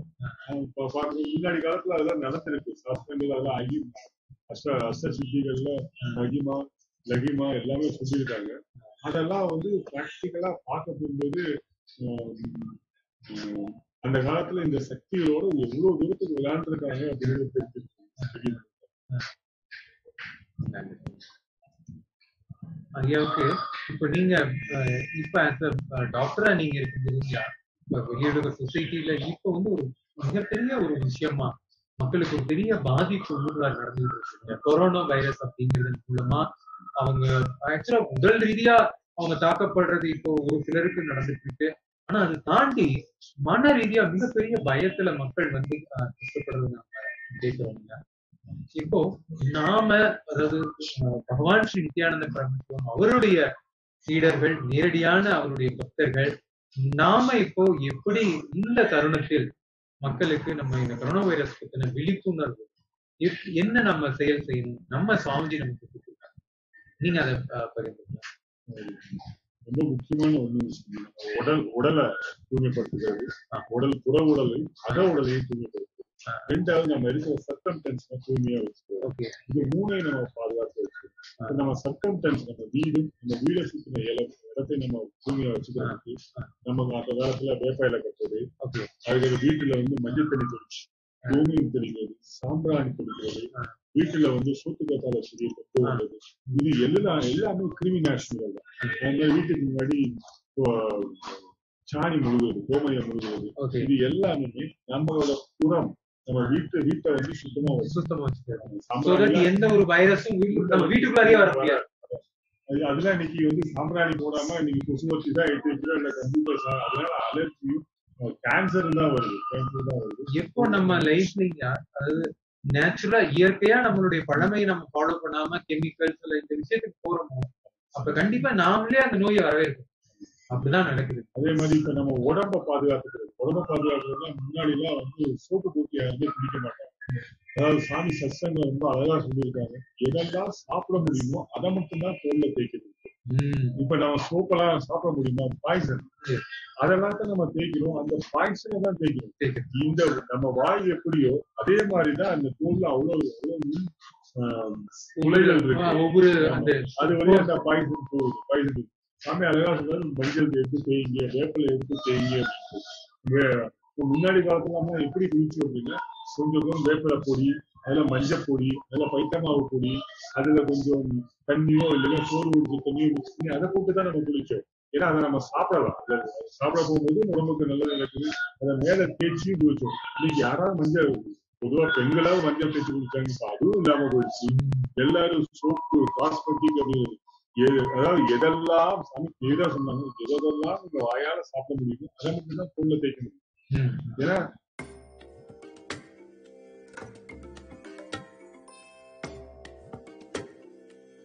தோல்ல தோல்ல கேக்குறீங்க அது எல்லாமே உள்ள போய் ஒரு கேன்சரை உருவாக்குது. தோல் கேன்சர் இன்னைக்கு அதிகப்படியா வந்து இருக்கு ஸோ நம்ம அதை மாத்தணும் அப்படின்னா இந்த கிருமிகள் நமக்கு கண்டிப்பா பாத்தீங்கன்னா யூரோப்ல அமெரிக்கால எல்லாம் பாத்தீங்கன்னா இந்த சோப்பு கெமிக்கல் தான் யூஸ் பண்றாங்க. அவங்களுக்கு தான் இப்போ அதிகப்படியான தொற்று வந்திருக்கு. அதிகப்படியான தொற்று வந்து வந்துருக்கு இருக்கு ரெண்டாவது நம்ம அகத்தை சுத்தமா வச்சுக்கணும். நம்ம தோலை இப்ப நம்ம சுத்தமா வச்சுக்கணும். புறத்தை சுத்தமா வச்சுக்கணும். அகத்தை எப்பதான் சுத்தமா வச்சுக்கலாம் அப்படின்னா இந்த டீ காஃபி எல்லாம் வந்தது ஒரு பெரிய கதை உண்டு. டீ காஃபி எல்லாம் ரெண்டாவது வேர்ல்டு வார் முதல் வேர்ல்டு வாருக்கு அப்பதான் டீ காஃபிங்கிற பயனே அங்க வந்துச்சு. அதுக்கு முன்னாடி நம்ம என்ன குடிச்சிட்டு இருக்கோம்? துளசி டீ சுக்கு டீ வில்வன் டீ இந்த மாதிரி பொடிகளை தான் வந்து சூடு பண்ணி இந்த நாட்டு சக்கரை போட்டு குடிச்சிட்டு இருந்தோம் இந்த டீ வந்த கதையே ஒரு ரொம்ப விசித்திரமான கதை. என்ன சொல்லுவாங்க அப்படின்னா எங்க தாத்தா சொல்லுவாரு ஏ நாங்க இருந்த காலத்துல எல்லாம் டீயே கிடையாது டீ கடையே இவங்க இந்த வேர்ல்டு வார் அப்ப வந்து அவனுக்கு பிடிக்கணுங்கிறதுக்காண்டி தேயிலையை கண்டு தேயிலை நல்லா இருக்குன்னு சொல்லி அதெல்லாம் கல்டிவேட் பண்ணி ஏன்னா இருக்கிற காடெல்லாம் மலையில இருக்க எல்லா காடுகளையும் அழைச்சி தேயிலையை போட்டு ஈவன் நமக்குலாம் தெரியும். நம்ம தேயிலை தோட்டங்கள்லாம் மலேசியாவுக்கு போனோம் ஸ்ரீலங்காவுக்கு போனோம் வெஸ்ட் இண்டீஸ்க்கு போனோம். அவ்வளவு தேயிலை தேவையா இருந்தது ஏன்னா அவங்களுக்கு வந்து ஒரு ஊக்க பானமா வரும். பொதுவா ஐரோப்பியன்ஸ் எல்லாமே கான்ஸ்டிபேட்டட் முன்னாடி அவங்களுக்கு இந்த தேயிலை டீ குடிச்சாதான் அந்த கான்ஸ்டிபேஷன் லீவ் ஆகும். அதுக்காக தான் அது உற்பத்தி பண்ணாங்க ரெண்டாவது என்ன பண்ணாங்கன்னா அந்த ட- தேயிலை நல்ல தேயிலாம் கூப்பிட்டு அந்த டஸ்ட்டை சும்மா போட முடியாம ஃப்ரீயா ஒவ்வொரு ஊர்லயுமே எல்லாருமே முன்னாடி எல்லாம் வந்து ஆஹ், டாய்லெட் எல்லாம் வெளியே தான் போவாங்க. அப்போ ஒவ்வொரு ஊர்லயும் வச்சு ஃப்ரீயா கொடுத்தாங்க டீ வந்து ஃப்ரீயா கொடுத்தாங்க ஒரு ஒரு மாசம் ஆச்சு ரெண்டு மாசம் ஆச்சு அந்த டெஸ்ட்டை வச்சு அவன் டீ கொடுத்து கொடுத்துருக்காங்க நம்ம மக்கள் என்ன ஆச்சு அப்படின்னா இப்ப பரவாயில்ல நீ ஒரு பத்து ரூபா செத்துக்கோ அஞ்சு ரூபா செத்துக்கோ அப்படின்னு சொல்லி நம்ம பணம் கொடுத்து பழகணும் ஒரு ஒரு ஆறு மாசம் ஆனதுக்கு அப்புறம் நம்மளும் போகும்போது டீ குடிச்சு பழக்க ஆரம்பிச்சோம். அந்த டீ குடிச்சு பழக ஆரம்பிச்சதுக்கு அப்புறம் இன்னைக்கு ரெண்டு கடை ரெண்டு கடைக்கு ஒரு கடை டீ கடை ஆயிடுச்சு. இப்படிதான் வந்து டீ குடிச்ச டீ குடிக்க பழக்கமே இந்தியாவுக்கு வந்துச்சு. ஒரு ரெண்டாவது வேர்ல்டு வாருக்கு முன்னாடி நமக்கு டீ குடிக்கிற பழக்கம் கிடையாது. இந்த அதே மாதிரி இன்னைக்கு நம்ம முன்னாடி நம்ம எப்படி குடிச்சோம் எப்படி துவைச்சோம் என்னென்னலாம் சாப்பிட்டோம் ஏன்னா இன்னி- இன்னைக்கு இருக்கிற மாதிரி சோப்பு ஷாம்பு முன்னாடி கிடையாது. ஆனா எப்படி குளிச்சோங்கிறதே நம்ம மறந்துட்டோம். இன்னைக்கு இன்னைக்கு இருக்கிற சோப்பு மாதிரி நமக்கு அன்னைக்கு சோப்பு கிடையாது. என்ன சோப்பு போட்டோம்னு தெரியாது. இன்னைக்கு டீ காஃபி குடிக்கிறோம். ஆனா முன்னாடி டீ காஃபி வேர்ல்டு வார்க்கு முன்னாடி கிடையாது. அதுக்கப்புறம் இன்னைக்கு என்னென்னலாம் யூஸ் பண்றோமோ அது எதுவுமே நமக்கு முன்னாடி கிடையாது. முன்னாடி நம்ம என்ன யூஸ் பண்ணாங்க நாற்பது வருஷத்துக்கு முன்னாடி என்ன யூஸ் பண்றத மொத்தமாவே அழிச்சிட்டாங்க. நம்மளோட உணவு பழக்க முறைகள் உணவுகள் மற்றும் நம்ம அன்றாட தேவைகளுக்கு நம்ம என்னென்னலாம் நம்ம வாழ்க்கையில பயன்படுத்தணுமோ அத்தனையுமே அழிக்கப்பட்டது.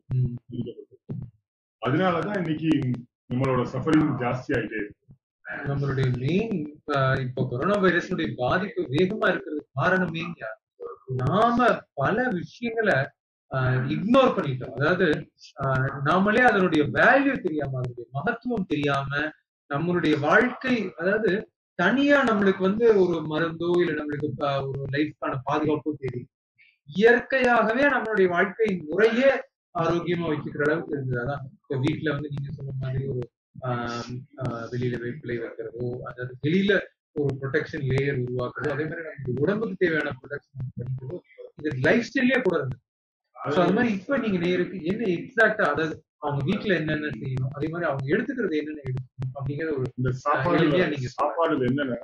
இந்தியன் சயின்ஸ் இந்தியன் ஃபுட்டுங்கிறது பெரிய சயின்ஸ் இந்தியன் ஃபுட்டுங்கிறது அதாவது என்ன அது ஒரு காம்பினேஷன் சயின்ஸ் இன்னைக்கு அப்படிலாம் எல்லாம் கொஞ்சம் இஷ்டத்துக்கு என்ன நாள் என்ன நேரத்துக்கு சாப்பிடலாங்கிற ஒரு ஒஸ்ட் பிஹேவியர் வந்துருச்சு. ஏன்னா அன்னமய நீங்க என்னதான் சாப்பிடுறீங்களோ அதுதான் உங்க உடம்பு. பகவான் மகரிஷி ரமண மகரிஷி அழகா ஒரு ஸ்டோரியில சொல்லுவார். அதை அத அதை நான் சொல்ல விரும்புறேன். ஒரு ஒரு ஒரு மாம்பழம் நம்ம கையில இருக்கு. இந்த ஒரு மாம்பழம் இருக்கு நான் இருக்கேன். இந்த மாம்பழம் நானும் வேறுபட்டு வே- வேற வேற வேறு இப்ப மாம்பழத்தை நான் சாப்பிடுறேன். மாம்பழம் சாப்பிட்டு அது உள்ள போய் டைஜஸ்ட் ஆகுது. இப்ப மாம்பழம் கிடையாது. ஆனா மாம்பழம் சாப்பிட்டனால ஒரு டேஸ்ட் இருக்கு. அந்த மாம்பழம் பஞ்சமகாபூதத்தால ஆனது இப்ப என்ன ஆகுதுன்னா அது உள்ள போய் டை மாம்பழம் பஞ்சமகாபூதம் உள்ள போய் டைஜஸ்ட் ஆகி அஞ்சு பூதங்களா பிரிஞ்சு அந்த அஞ்சு பூதமும் இப்ப என்னோட பூதமாயிடுச்சு. ம், இப்ப மாம்பழம் நானாயிட்டேன். நீங்க என்னெல்லாம் சாப்பிடுறீங்களோ அது அஞ்சு பூதத்தா அக்னியால சிரிக்கப்பட்டு அது அக்னி அந்த பஞ்சபூதங்களும் மாற்றப்பட்டு அந்த பஞ்சபூதம் உங்களோட பஞ்சபூதமா மாறும். அப்ப நீங்க என்னெல்லாம் சாப்பிடுறீங்களோ அது அக்னியால கரெக்டா டைஜஸ்ட் ஆகி உங்களுக்கு மாறணும் இங்க பசியே இருக்காது. அந்த பசி இல்லாத நேரத்துல பொதுவா ராத்திரி ஆறு மணிக்கு மேல ஆயிடுச்சுன்னா சூரியன் இறங்கிருச்சுனாலே நமக்கு பசி போயிடும். அதனால சூரியன் இறங்கிருச்சுனால ஒன்றரை மணி நேரத்துக்கு அப்புறம் சாப்பிடக்கூடாது. ஆனா இன்னைக்கு நைட்டு பத்து மணிக்கு மேல ஹெவியா சாப்பிடுவாங்க.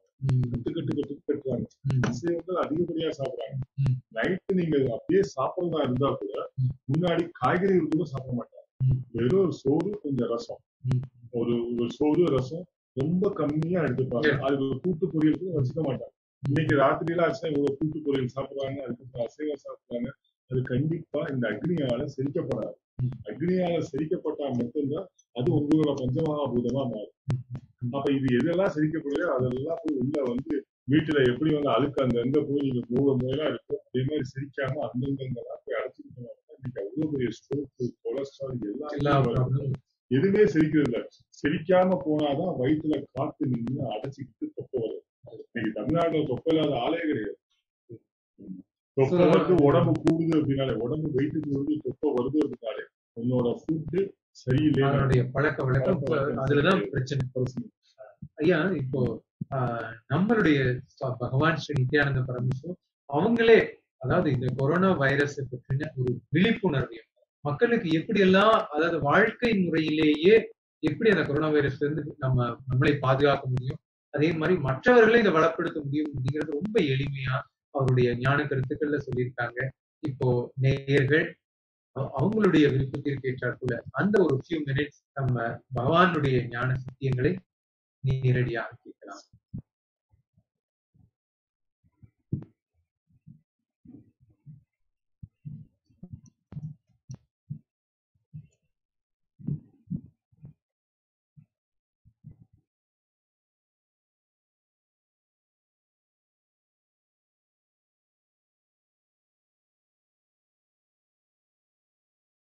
இந்த நிராகார சம்யமம் பண்ணீங்கன்னா அந்த நச்சும் கழிவுகளும் உடம்ப விட்டு வெளியில போகும். ஆயுளை அதிகரிக்கின்ற மிக உயர்ந்த நுட்பம் நிராகார சமயம் தான். பட்டினி அல்ல விரதம். ஹிந்து பாஸ்டிங்னா ஊனினை உருக்கி உள்ளொளி பெருக்கி. உணவை குறைத்து ஆன்ம உணர்வை பெருக்கி இந்த நிராகார சம்யமம் உயிரையே மலர வைத்து விடும்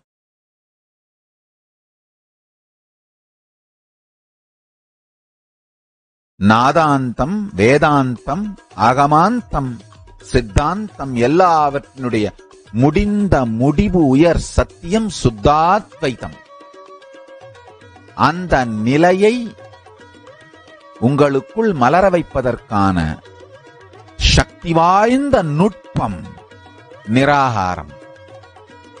வெறும் உடல் நலம் மட்டுமல்ல உயிர் நலமே உங்களுக்குள் நிகழ்ந்துவிடும்.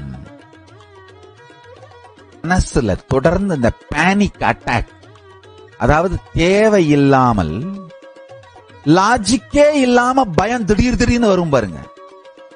இந்த பேனிக் அட்டாக் இன்செக்யூர்டாவே ஃபீல் பண்றது. இதுல இருந்து வெளியில வர்றதுக்கான எளிமையான வழி நிராகார சமயமம்.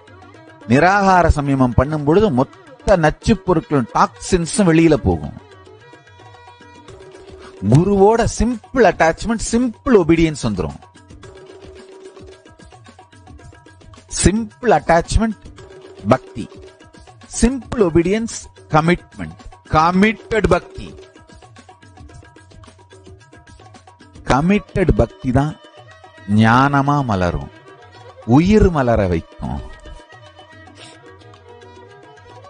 சிம்பிள் அட்டாச்மெண்ட் ரொம்ப ஈஸி சிம்பிள் ஒபீடியன்ஸ் தான் real enlightenment simple attachment simple obedience அது நிகழ்வதற்கு உண்மையான வழி. தெளிந்த தெளிவினால் நிகழும் உண்மையான வழி. நிராகார சம்யமம்.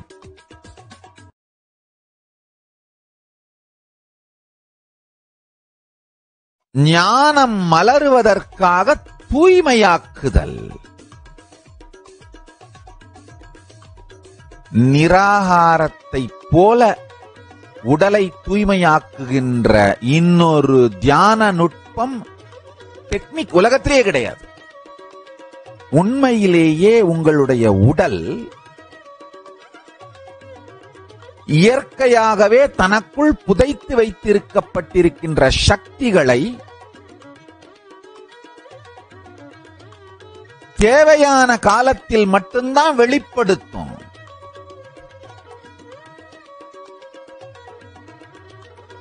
அந்த தேவையை ஏற்படுத்தி அந்த சக்திகளை வெளிப்படுத்த வைக்கிறது தான் நம்முடைய வேலை.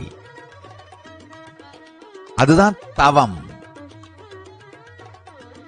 நீங்க எவ்வளோ டயர்டா காலையில் ஆறு மணிக்கு வேலைக்கு போயிட்டு ராத்திரி பத்து மணிக்கு எப்படா படுக்கையில போய் விழுந்து படுப்போன்னு டயர்டா நடக்க முடியாம மெதுவா வீட்டை நோக்கி நடந்து போயிட்டு இருக்கீங்க. ராத்திரி இருட்டுல ஒரு தெருநாய் துரத்துனா எங்க இருந்து உங்க உடம்புக்குள்ள பலம் வருபாருங்க ஏன்னா அவசர காலம் அப்படின்னும் போது உங்க உடல் அடுத்த நிலை சக்தியை வெளிப்படுத்தும். பின்னங்கால் பிடரியில் பட. வீட்டுக்கு ஓடுவீங்க ஓடின பிறகும் அந்த சக்தி குறையாது தூக்கமே இருக்காது. எமர்ஜென்சி லேயர் நம்ம எல்லாருக்குள்ளேயும் இந்த மாதிரி பல்வேறு விதமான ஆமானுஷ்யமான சாத்திய கூறுகள் புதைந்து கிடக்கின்றன. உணவை நிறுத்தும் பொழுது இயற்கையிலிருந்து நேரடியாக சுத்த சக்தியை சுத்த சக்தி தத்துவத்தை நேரடியாக உள்வாங்கி பிராணனாக மாற்றிக்கொண்டு உயிர் வாழுகின்ற சக்தி உங்களுக்குள்ளே உயிர்ப்படைந்துவிடும். எப்படி மரம் செடி கொடிகள் தாவரங்கள் சூரியனிலிருந்தும் பிராணனில் சூரியனிலிருந்தும் காற்றிலிருந்தும் நீரிலிருந்தும் சக்தியை உள்வாங்கி தன் உயிர் வாழ்வதற்கு தேவையான பிராணனாக மாற்றிக்கொண்டு தன்னை மலரச் செய்து கொள்கின்றதோ அதே போல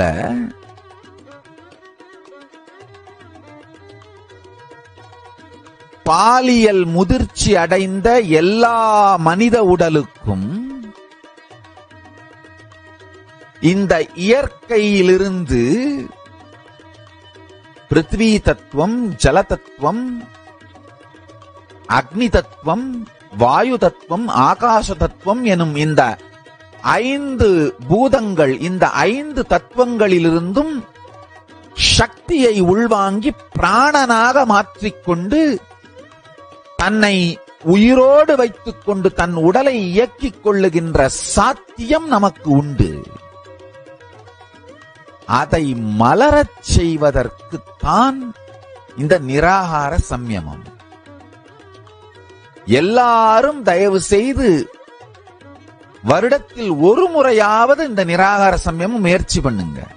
ஒருவருக்கு அன்னதானம் செய்து நமக்கு ஒரு லட்சம் புண்ணியம் வரும்னா ஒருத்தருக்கு நிராகார சம்யமத்தை பற்றி புரிய வைத்து அவர்களை நிராகாரம் செய்ய வைத்தால் நூறு கோடி புண்ணியம் வரும். மாடண்டே டே மருத்துவம் எல்லாம் திரும்ப திரும்ப திரும்ப சொல்றாங்கய்யா. Fasting boost stem cells regenerative capacity fasting boost stem cells regenerative capacity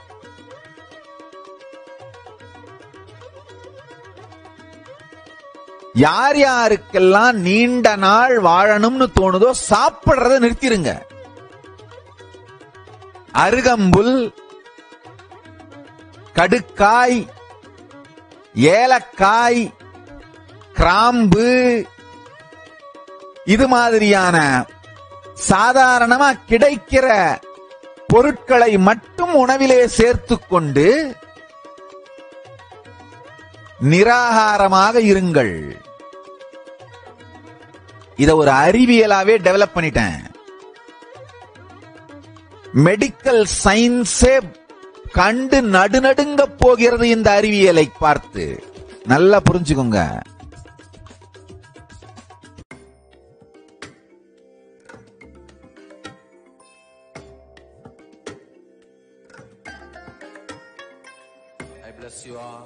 Let you all open all your three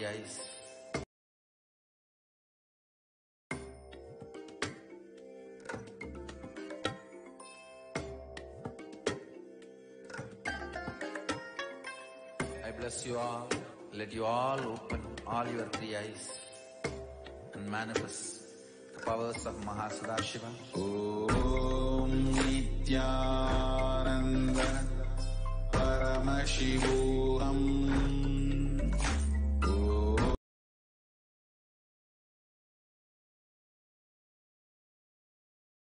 നാദാന്തം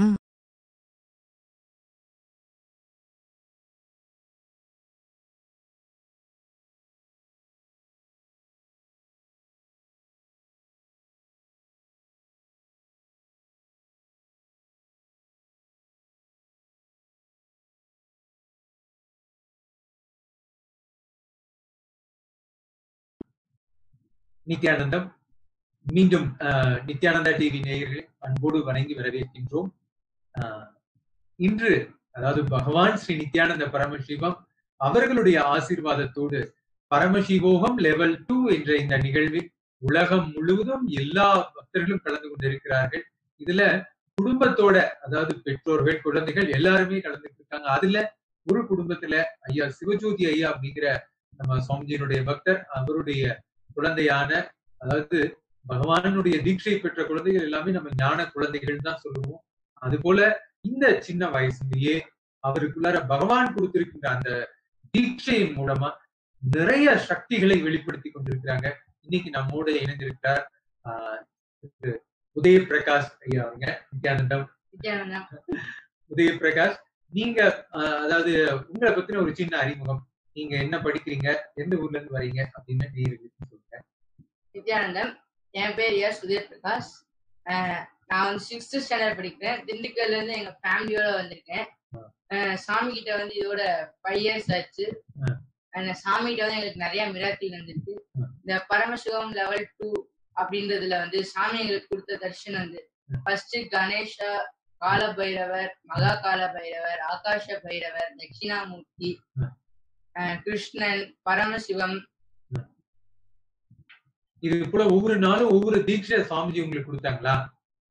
நீங்க அந்த தீட்சை இப்ப சுவாமிஜி கிட்ட நேரடியா வாங்கினதுக்கு அப்புறம் நீங்க அதே மாதிரி சக்தி வெளிப்பாடு பவர் மேனிஃபெஸ்டேஷன் செஞ்சீங்களா? ஃபர்ஸ்ட் பவர் வந்து ஃபீடிங் டு கணேஷா. நம்ம கல்ல கூட ஒரு விநாயகரா நினைச்சு பால் கொடுத்தாலும் அவர் குடிப்பாரு. Second power conscious over matter இப்போ கையில தேங்காய் வச்சா நம்ம பார்வையாலே ஊட்ட முடியும். மூணாவது பவர் அதுக்கு நீங்க என்ன செய்வீங்க? அதாவது கான்சியஸ்னஸ் ஓவர் மேட்டர் அதாவது கோகனட் கையில வச்சா அது எப்படி மூவ் ஆகும்? நீங்க என்ன செய்வீங்க அதுக்கு? ஃபர்ஸ்ட் நம்ம சாமியோட ஒரு உண்டஸ்ட் இருந்தா எல்லா பவர் வேணா நமக்கு நடக்க வாய்ப்பு இருக்கு. அப்புறம் நம்ம பரமேஷ் மகா வைக்க சொல்லிட்டு நம்ம சாமியோட ஒரு உணர்த்துல இருந்து அந்த தேங்காவை பார்த்துட்டே பார்வையாலே முடியும் வெரி குட் அப்படி நீங்க இது வரைக்கும் எத்தனை பேத்துக்கு அந்த மாதிரி செஞ்சிருக்கீங்க கிட்டத்தட்ட ஒரு இருபத்தொரு பேருக்கு. வெரி குட் அந்த எல்லாருக்குமே சக்சஸ்ஃபுல்லா அது நடந்துதா? எல்லாத்துக்குமே சக்சஸ்ஃபுல்லா குட் எப்படி இப்ப நீங்க வந்து சுவாமிஜி கிட்ட இருந்து நீங்க ஒரே ஒரு முறை தான் தீட்சை வாங்குறீங்க? உங்களுக்குள்ளார இந்த மாதிரி பல சக்திகள் வெளிப்படுத்திட்டே இருக்கீங்க. இன்ஃபேக்ட் ஒரு மெடிக்கல் ஃபீல்ட்ல எனக்கே ஒரு பெரிய ஆச்சரியமான ஒரு விஷயமா இருந்தது.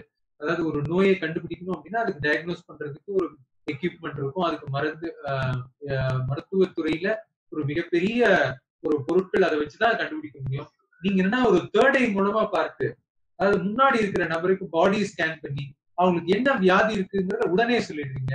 இது எப்படி சாத்தியமாச்சு? இத பத்தி உங்களுடைய எக்ஸ்பீரியன்ஸ் இப்ப நம்ம கண்ண மூடி உட்காந்து சாமி மந்திரம் சொல்லி மகா வைக்க சொல்லி ஒரு சாமியோட ஒருமை தன்மையோட இருந்து அவங்க பாடி அப்படியே ஸ்கேன் பண்ணா சாமி நமக்கு அப்படியே தரைய மூன்றாம் கண்ணில் காமிக்கும். அத காமிச்சு நம்ம சொல்லும் போது அது கூட சொல்யூஷனும் சேர்த்து சொல்லுவோம் அப்படி இந்த மாதிரி நீங்க நிறைய பேர் பண்ணிருக்கீங்களா நிறைய பேத்துக்கு பண்ணிருக்கேன் நாங்க இங்க எங்க ஊர்ல அன்னதானம் இருக்கும்போது நிறைய பேத்துக்கு சக்சஸ்ஃபுல்லா இருந்து பண்ணிருக்கோம் சோ உங்களுக்கு நீங்க கண்ணை மூடி சுவாமிஜி கிட்ட நீங்க கேட்பீங்களா என்ன செய்வீங்க எக்ஸாக்டா இப்ப நான் கண்ணை மூடி உட்கார்ந்த உடனே ஒரு மந்திரம் இருபத்தொரு வாட்டி மகா வைக்க சொல்லுவேன். சாமி எனக்கு அப்படியே அந்த உங்க பாடியில என்னென்ன பிரச்சனை அப்படின்னு சொல்லுவாரு. இல்ல சில அப்படியே காமிப்பாங்க. அத சொல்லிட்டு பிறகு நம்ம சாமி சாமி சொல்யூஷன் என்னன்னு கேட்ட உடனே அவ சாமியாவே சொல்லுவாங்க. சொல்யூஷன் என்னன்னு. இப்போ இப்போ சொல்யூஷன் இப்போ ஒரு ஒரு நபருக்கும் ஒரு ஒரு விதமான சொல்யூஷன் சுவாமிஜி சொல்லுவாங்களா? இப்ப ஒருத்தர் பாடிக்கு ஸ்டொமக் பெயின்னா அவங்களுக்கு என்ன பிரச்சனை அப்படின்னு நம்ம கேட்கும் போது சாமி இதுக்கு வந்து நீங்க கடுக்காய் பொடி போடணும் அப்படின்னு எனக்குள்ள சொல்லுவாரு. நான் வந்து அப்படியே அவங்கள்ட்ட சொல்லிருக்கேன் ஸோ இப்போ இந்த பரமசிவகம் லெவல் டூ பதினாறு நாள் நீங்க நடந்த நடந்த ப்ரோக்ராம்ல முதல் பேட்ச்லயே நீங்க கலந்துக்கிட்டீங்க. அதுல என்னென்னவெல்லாம் உங்களுக்கு அந்த ஆனந்தம் உங்களுக்குள்ள எப்படி இருந்துச்சு? சுவாமி தர்ஷன் கொடுக்கும்போது உங்களுக்கு எப்படி கொண்டாட்டமா இருந்ததா? என்ன செஞ்சீங்க சாமிஜி எனக்கு தர்ஷன் கொடுக்கும்போது முத எல்லாம் டான்ஸ் ஆட சொல்லும் போது எனக்கு ஒரு- இதா டான்ஸ் ஆட தோணல. அப்புறம் இன்னொரு சாமி கண்ணை பார்த்துட்டே இருக்கும்போது தானே டான்ஸ் வந்து. அப்புறம் என் முத நான் விழிப்புணர்வு இல்லாம இருக்கும்போது இந்த பரமசிவம் லெவல் டூல வந்த உடனே எனக்கு விழிப்புணர்வு வந்துச்சு. சாமி கூட இருக்கலான்றது இப்போ ஆஹ், உங்களுக்கே தெரியும்னு நினைக்கிறேன். இப்போ ஆஹ், சுவாமிஜி இப்போ இந்த போகும் லெவல் டூ நமக்கு எல்லாம் கொடுத்துட்டு இருக்காங்க ஆனா வெளியில சமூகத்துல இருக்கிற மக்கள் பாத்தீங்கன்னா ஆஹ், மிகப்பெரிய ஒரு பாதிப்புல இருக்காங்க. அதாவது கொரோனா வைரஸ் அப்படிங்கறத பத்தி ஒரு உங்களுக்கு தெரியுமா? அது அதனுடைய தாக்கம் எந்த அளவுக்கு இருக்கு நிறைய ஆஹ், மிகப்பெரிய ஒரு பயம் இருக்கு கொரோனா வைரஸை பத்தி. எங்க நம்மளுக்கு அது வந்துருமோ? அது ஆஹ் நம்மளை தாக்கிடுமோ? நம்மளை கொண்டுருமோ அப்படிங்கிற அளவுக்கு இருக்காங்க. அப்படி உங்களுடைய ஃப்ரெண்ட்ஸ் யார்ட்டையாவது நீங்க பேசும்போது யாராவது எதுவும் சொன்னாங்களா? ஆஹ் சொல்லியிருக்கேன் என் ஃப்ரெண்டு ஒரு வாட்டி சொல்லியிருக்கேன் கொரோனா வைரஸ்ல ரொம்ப பயந்துட்டு இப்போ ஒரு எல்லாரும் இந்த கெமிக்கல் இது வாங்கி வச்சுக்கிறாங்க ஹேண்ட் வாஷ். ஹேண்ட் வாஷ் பண்றது. அது கிடைக்கல என் ஃப்ரெண்டு வந்து கூட என்கிட்ட அழுது இருக்கான் ம்ஹும். ஆனா அதை நம்ம யூஸ் பண்ணக்கூடாது. நம்ம கொரோனா வைரஸ் பத்தி பயப்படாம இருந்தாலே போதும். கொரோனா வைரஸ்ன்றது ஒண்ணு இல்லவே இல்லை அப்படின்னு நினைச்சா ஒரு கொரோனா வைரஸ் நமக்கு தாக்கம் வைக்காது சாமி சொல்லியிருக்காரு மக்களை நான் கொரோனா வைரஸ் இருந்து காப்பாத்துறேன். நீங்க நம்ம டிவோட்டிகள் தீவிரவாதிகள்ட்ட இருந்து காப்பாத்துங்க. மனிதர்கள் அப்படின்னு சொல்லியிருக்காரு. அப்புறம் இன்னொரு சாமி சொல்லியிருக்காரு. என்னை ஃபாலோ பண்ணாலும் பரவாயில்ல என் கருத்தையும் சைவமாவும் இருங்க அப்படின்னு இருக்காரு சைவமா இருந்தா எந்த வைரஸ் நம்மளால நம்மள தாக்க முடியாது. ட்ரெடிஷ்னலா வாழணும். வர கெமிக்கல் ஆட் பண்ணாம நம்ம முன்னோர்கள் எப்படி இருந்தாங்க அதோ அந்த இதுல இருக்கணும் நம்ம. அது உதாரணத்துக்கு ஏதாவது சொல்ல முடியுமா? அவங்க முன்னோர்கள் எல்லாம் எப்படி வாழ்ந்தாங்க? இப்ப நீங்க அதெல்லாம் எப்படி அதை அதை கடைபிடிக்கிறீங்க? சாமிஜி உங்களுக்கு என்ன சொன்னாங்க? இப்ப இந்த வெள்ளைக்காரங்க தயாரிச்ச நம்ம கெமிக்கல் அதை நம்ம ஆட் பண்ணவே கூடாது. முக்கியமா கெமிக்கல்ன்றதை நம்ம சேர்க்க கூடாது நான்வெஜ்ஜா விட்டுறணும். நம்ம முன்னோர்கள்லாம் எப்பவுமே காலையில எந்திரிச்சு அந்த வெள்ளைக்காரன் கண்டுபிடிச்சதான் அந்த ஷர்ட் நம்ம ஷர்ட்டே போடக்கூடாது. ஒரு வேட்டி இல்லாட்டி பஞ்சகஜம் கட்டணும். டெய்லியும் நம்ம முன்னோர்கள் எப்பவுமே நாலு மணிக்கு எந்திரிச்சு கடை கடவுளை வேண்டுவார்கள். அதே மாதிரி நம்மளும் வேண்டணும். ஆஹ் நம்ம வந்து இப்ப சாப்பிடுற உணவுகள்னா இப்ப ஒன்லி சைவமா தான் சாப்பிடணும். அந்த வந்து டைஜஸ்ட் ஆகின ஃபுட்டு சாமி சொல்லியிருக்காரு ஒரு ஒரு நாளைக்கு மூணு நேரம் சாப்பிடக்கூடாது ரெண்டு நேரம் சாப்பிடுங்க அப்பதான் உடம்பு ஏத்துக்கும்னு சொல்லியிருக்காரு. சோ அப்ப சைவம்னா நீங்க என்னென்ன எல்லாம் சாப்பிடுறீங்க? சாமிஜி உங்களுக்கு என்னென்ன சொல்லி கொடுத்துருக்காங்க? சைவம்னா இப்ப இந்த ஒரு மூலிகை ஃபுட் மெடிசினல் ஃபுட் அப்புறம் இந்த காளான்றது சைவம்வாங்க அதுவும் சாப்பிடக்கூடாது. முட்டையும் இப்ப சைவம் மாத்திட்டு இருக்காங்க. அதுவும் முட்டை தான் கண்டிப்பா நம்ம சாப்பிடக்கூடாது சைவம் இப்ப நம்ம ஒரு ரசம் வச்சு குடிக்கலாம். அட்லீஸ்ட் இந்த இப்ப டீயை பத்தி ஒரு ட்ரிங்கிங் லிக்யூடா வந்து பாத்தீங்கன்னா டீன்றது நம்ம துளசி டீ சுக்கு காபி குடிக்கலாம். டீ காபி நம்ம அவாய்ட் பண்ணிடணும் முழுமையா. இப்ப இந்த சர்க்கரை இது ஜீனி யூஸ் பண்ணக்கூடாது sugar only white colour sugar only நாட்டு சர்க்கரை வெல்லம் யூஸ் பண்ணணும். இப்ப ஜீனி சாப்பிட்டா நம்ம எலும்பு அப்படியே ஒரு உரி ஓட்டை வந்து ஓட்டை வந்துடும் ஒன்லி நாட்டு சர்க்கரை வெல்லம் கருப்பட்டி இது மட்டும் தான் யூஸ் பண்ணணும். என்னைய பொறுத்த வரைக்கும் நாங்க எங்க வீட்ல இது ஜீனி யூஸ் பண்ணவே மாட்டோம். நமக்கு எந்த பிரச்சனைனாலும் இப்ப சாமி மந்திரத்தை சொல்லி ஒரு ஒன்னர்ஸோட வந்து சாமிகிட்ட சொன்னா அவர் எல்லாம் கிளியர் பண்ணிடுவாரு. நம்ம முன்னோர்கள் அதாவது நாலு மணிக்கு எந்திரிக்க யோகா பூஜை அப்புறம் வந்து இப்ப கோயிலுக்கு போறது இப்ப கோயிலுக்கு போறதே அவ்வளவுக்கா தடை பண்ணிட்டு இருக்காங்க. இப்ப இந்த கிறிஸ்துவஸ் அதாவது கிறிஸ்டின் அவங்க நம்ம ஹிந்துவை என்ன பண்றாங்கன்னா ஒரு ஹிந்துவையும் ஒரு முழுமையா ஒரு கிறிஸ்டினா மாத்திடுறாங்க. நம்ம இந்தியா அப்படின்னு தமிழ்நாடு அப்படின்றது ஹிந்துக்கு ஹிந்துக்கான ஒரு நாடாக நான் சொல்றேன். அதுல வந்து நம்ம கோயிலுக்கு போறத கண்டிப்பா போகணும். இப்ப எல்லாம் திருவிழானா முத நிறைய கூட்டம் இருக்கும். இப்போ கூட்டமே இல்ல வீட்ல இருந்து எல்லாரும் டிவி தான் பாக்குறாங்க. முக்கியமா இந்த கொரோனா வைரஸ்னால பாதிக்கிறாங்கல்ல. டிவி மட்டும் பார்க்காம நியூஸ் பார்க்காம இருக்கணும். அவங்களே பயத்தை உருவாக்கிடுவாங்க. நெகட்டிவ் தாட்டு கொண்டு போயிடுவாங்க. ஆனா நம்ம சாமிஜி கரெக்டா இப்ப எங்க ஏரியாவுல ஒரு நிறைய பேருக்கு கொரோனா வைரஸ் இருக்கு. நாங்க வீட்ல இருந்து அட்டன் பண்ணிருப்போம். ஏன்னா சாமி எங்களுக்கு கூட்டு வந்தாரு. ஏன்னா எங்க ஏரியால கொரோனா வைரஸ் இருக்கனால. தட்ஸ் த மிராக்கிள் நான் சொல்றேன். நிச்சயமா. எப்படி உங்க உங்க ஃபேமிலியே நீங்க சாமிஜி கூட எப்படி கனெக்ட் ஆகி எவ்வளவு இவ்வளவு ஜாய்ஃபுல்லா இருக்கீங்களே? எப்படி இது நடந்தது? ஃபர்ஸ்ட் இப்ப நாங்க எங்க அப்பா டிவில பார்க்க அவரு மட்டும் போறேன்னாங்க ஆனா சாமி இப்ப எங்களையும் நாங்களா எங்க வாயால சொல்ல வச்சு வர வச்சிருக்காரு. நாங்களும் வரோம் அப்படின்னு. வந்து எனக்கு தேர்ட் படிக்கும் போதே வந்துட்டு கிட்டத்தட்ட ஃபைவ் இயர்ஸ் ஆயிடுச்சு. முத வரும்போது எனக்கு அவ்வளோக்கா விழிப்புணர்வா இல்ல. இந்த பரமஜம் லெவல் டூல வந்து எனக்கு. ஒரு எக்ஸைட்டா ஒரு விழிப்புணர்வு பயங்கரமா வந்திருக்கு. கூட பிறந்தவங்க எத்தனை பேரு? உங்க ஃபேமிலில கூட பிறந்தது அக்கா அவங்க அவங்களும் சாமி கிட்ட வந்து தேடை அதாவது பிளைண்ட் ஃபோல் பண்ணுவாங்க. அவங்களும் சாமிஜி கிட்ட தீட்சை வாங்கியிருக்காங்களா? ஆஹ் தீக்ஷா வாங்கியிருக்காங்க. நாங்க டென் டேஸ் கிளாஸ் அட்டன் பண்ணிருக்கோம் அதுல எங்க அக்கா பிளைண்ட் ஃபோல் பண்ணுவாங்க. பிளைண்ட் ஃபோல்ட்னா என்ன? இப்ப நம்ம கண்ணை கட்டி விட்டோம்னா அப்படியே படிப்பாங்க.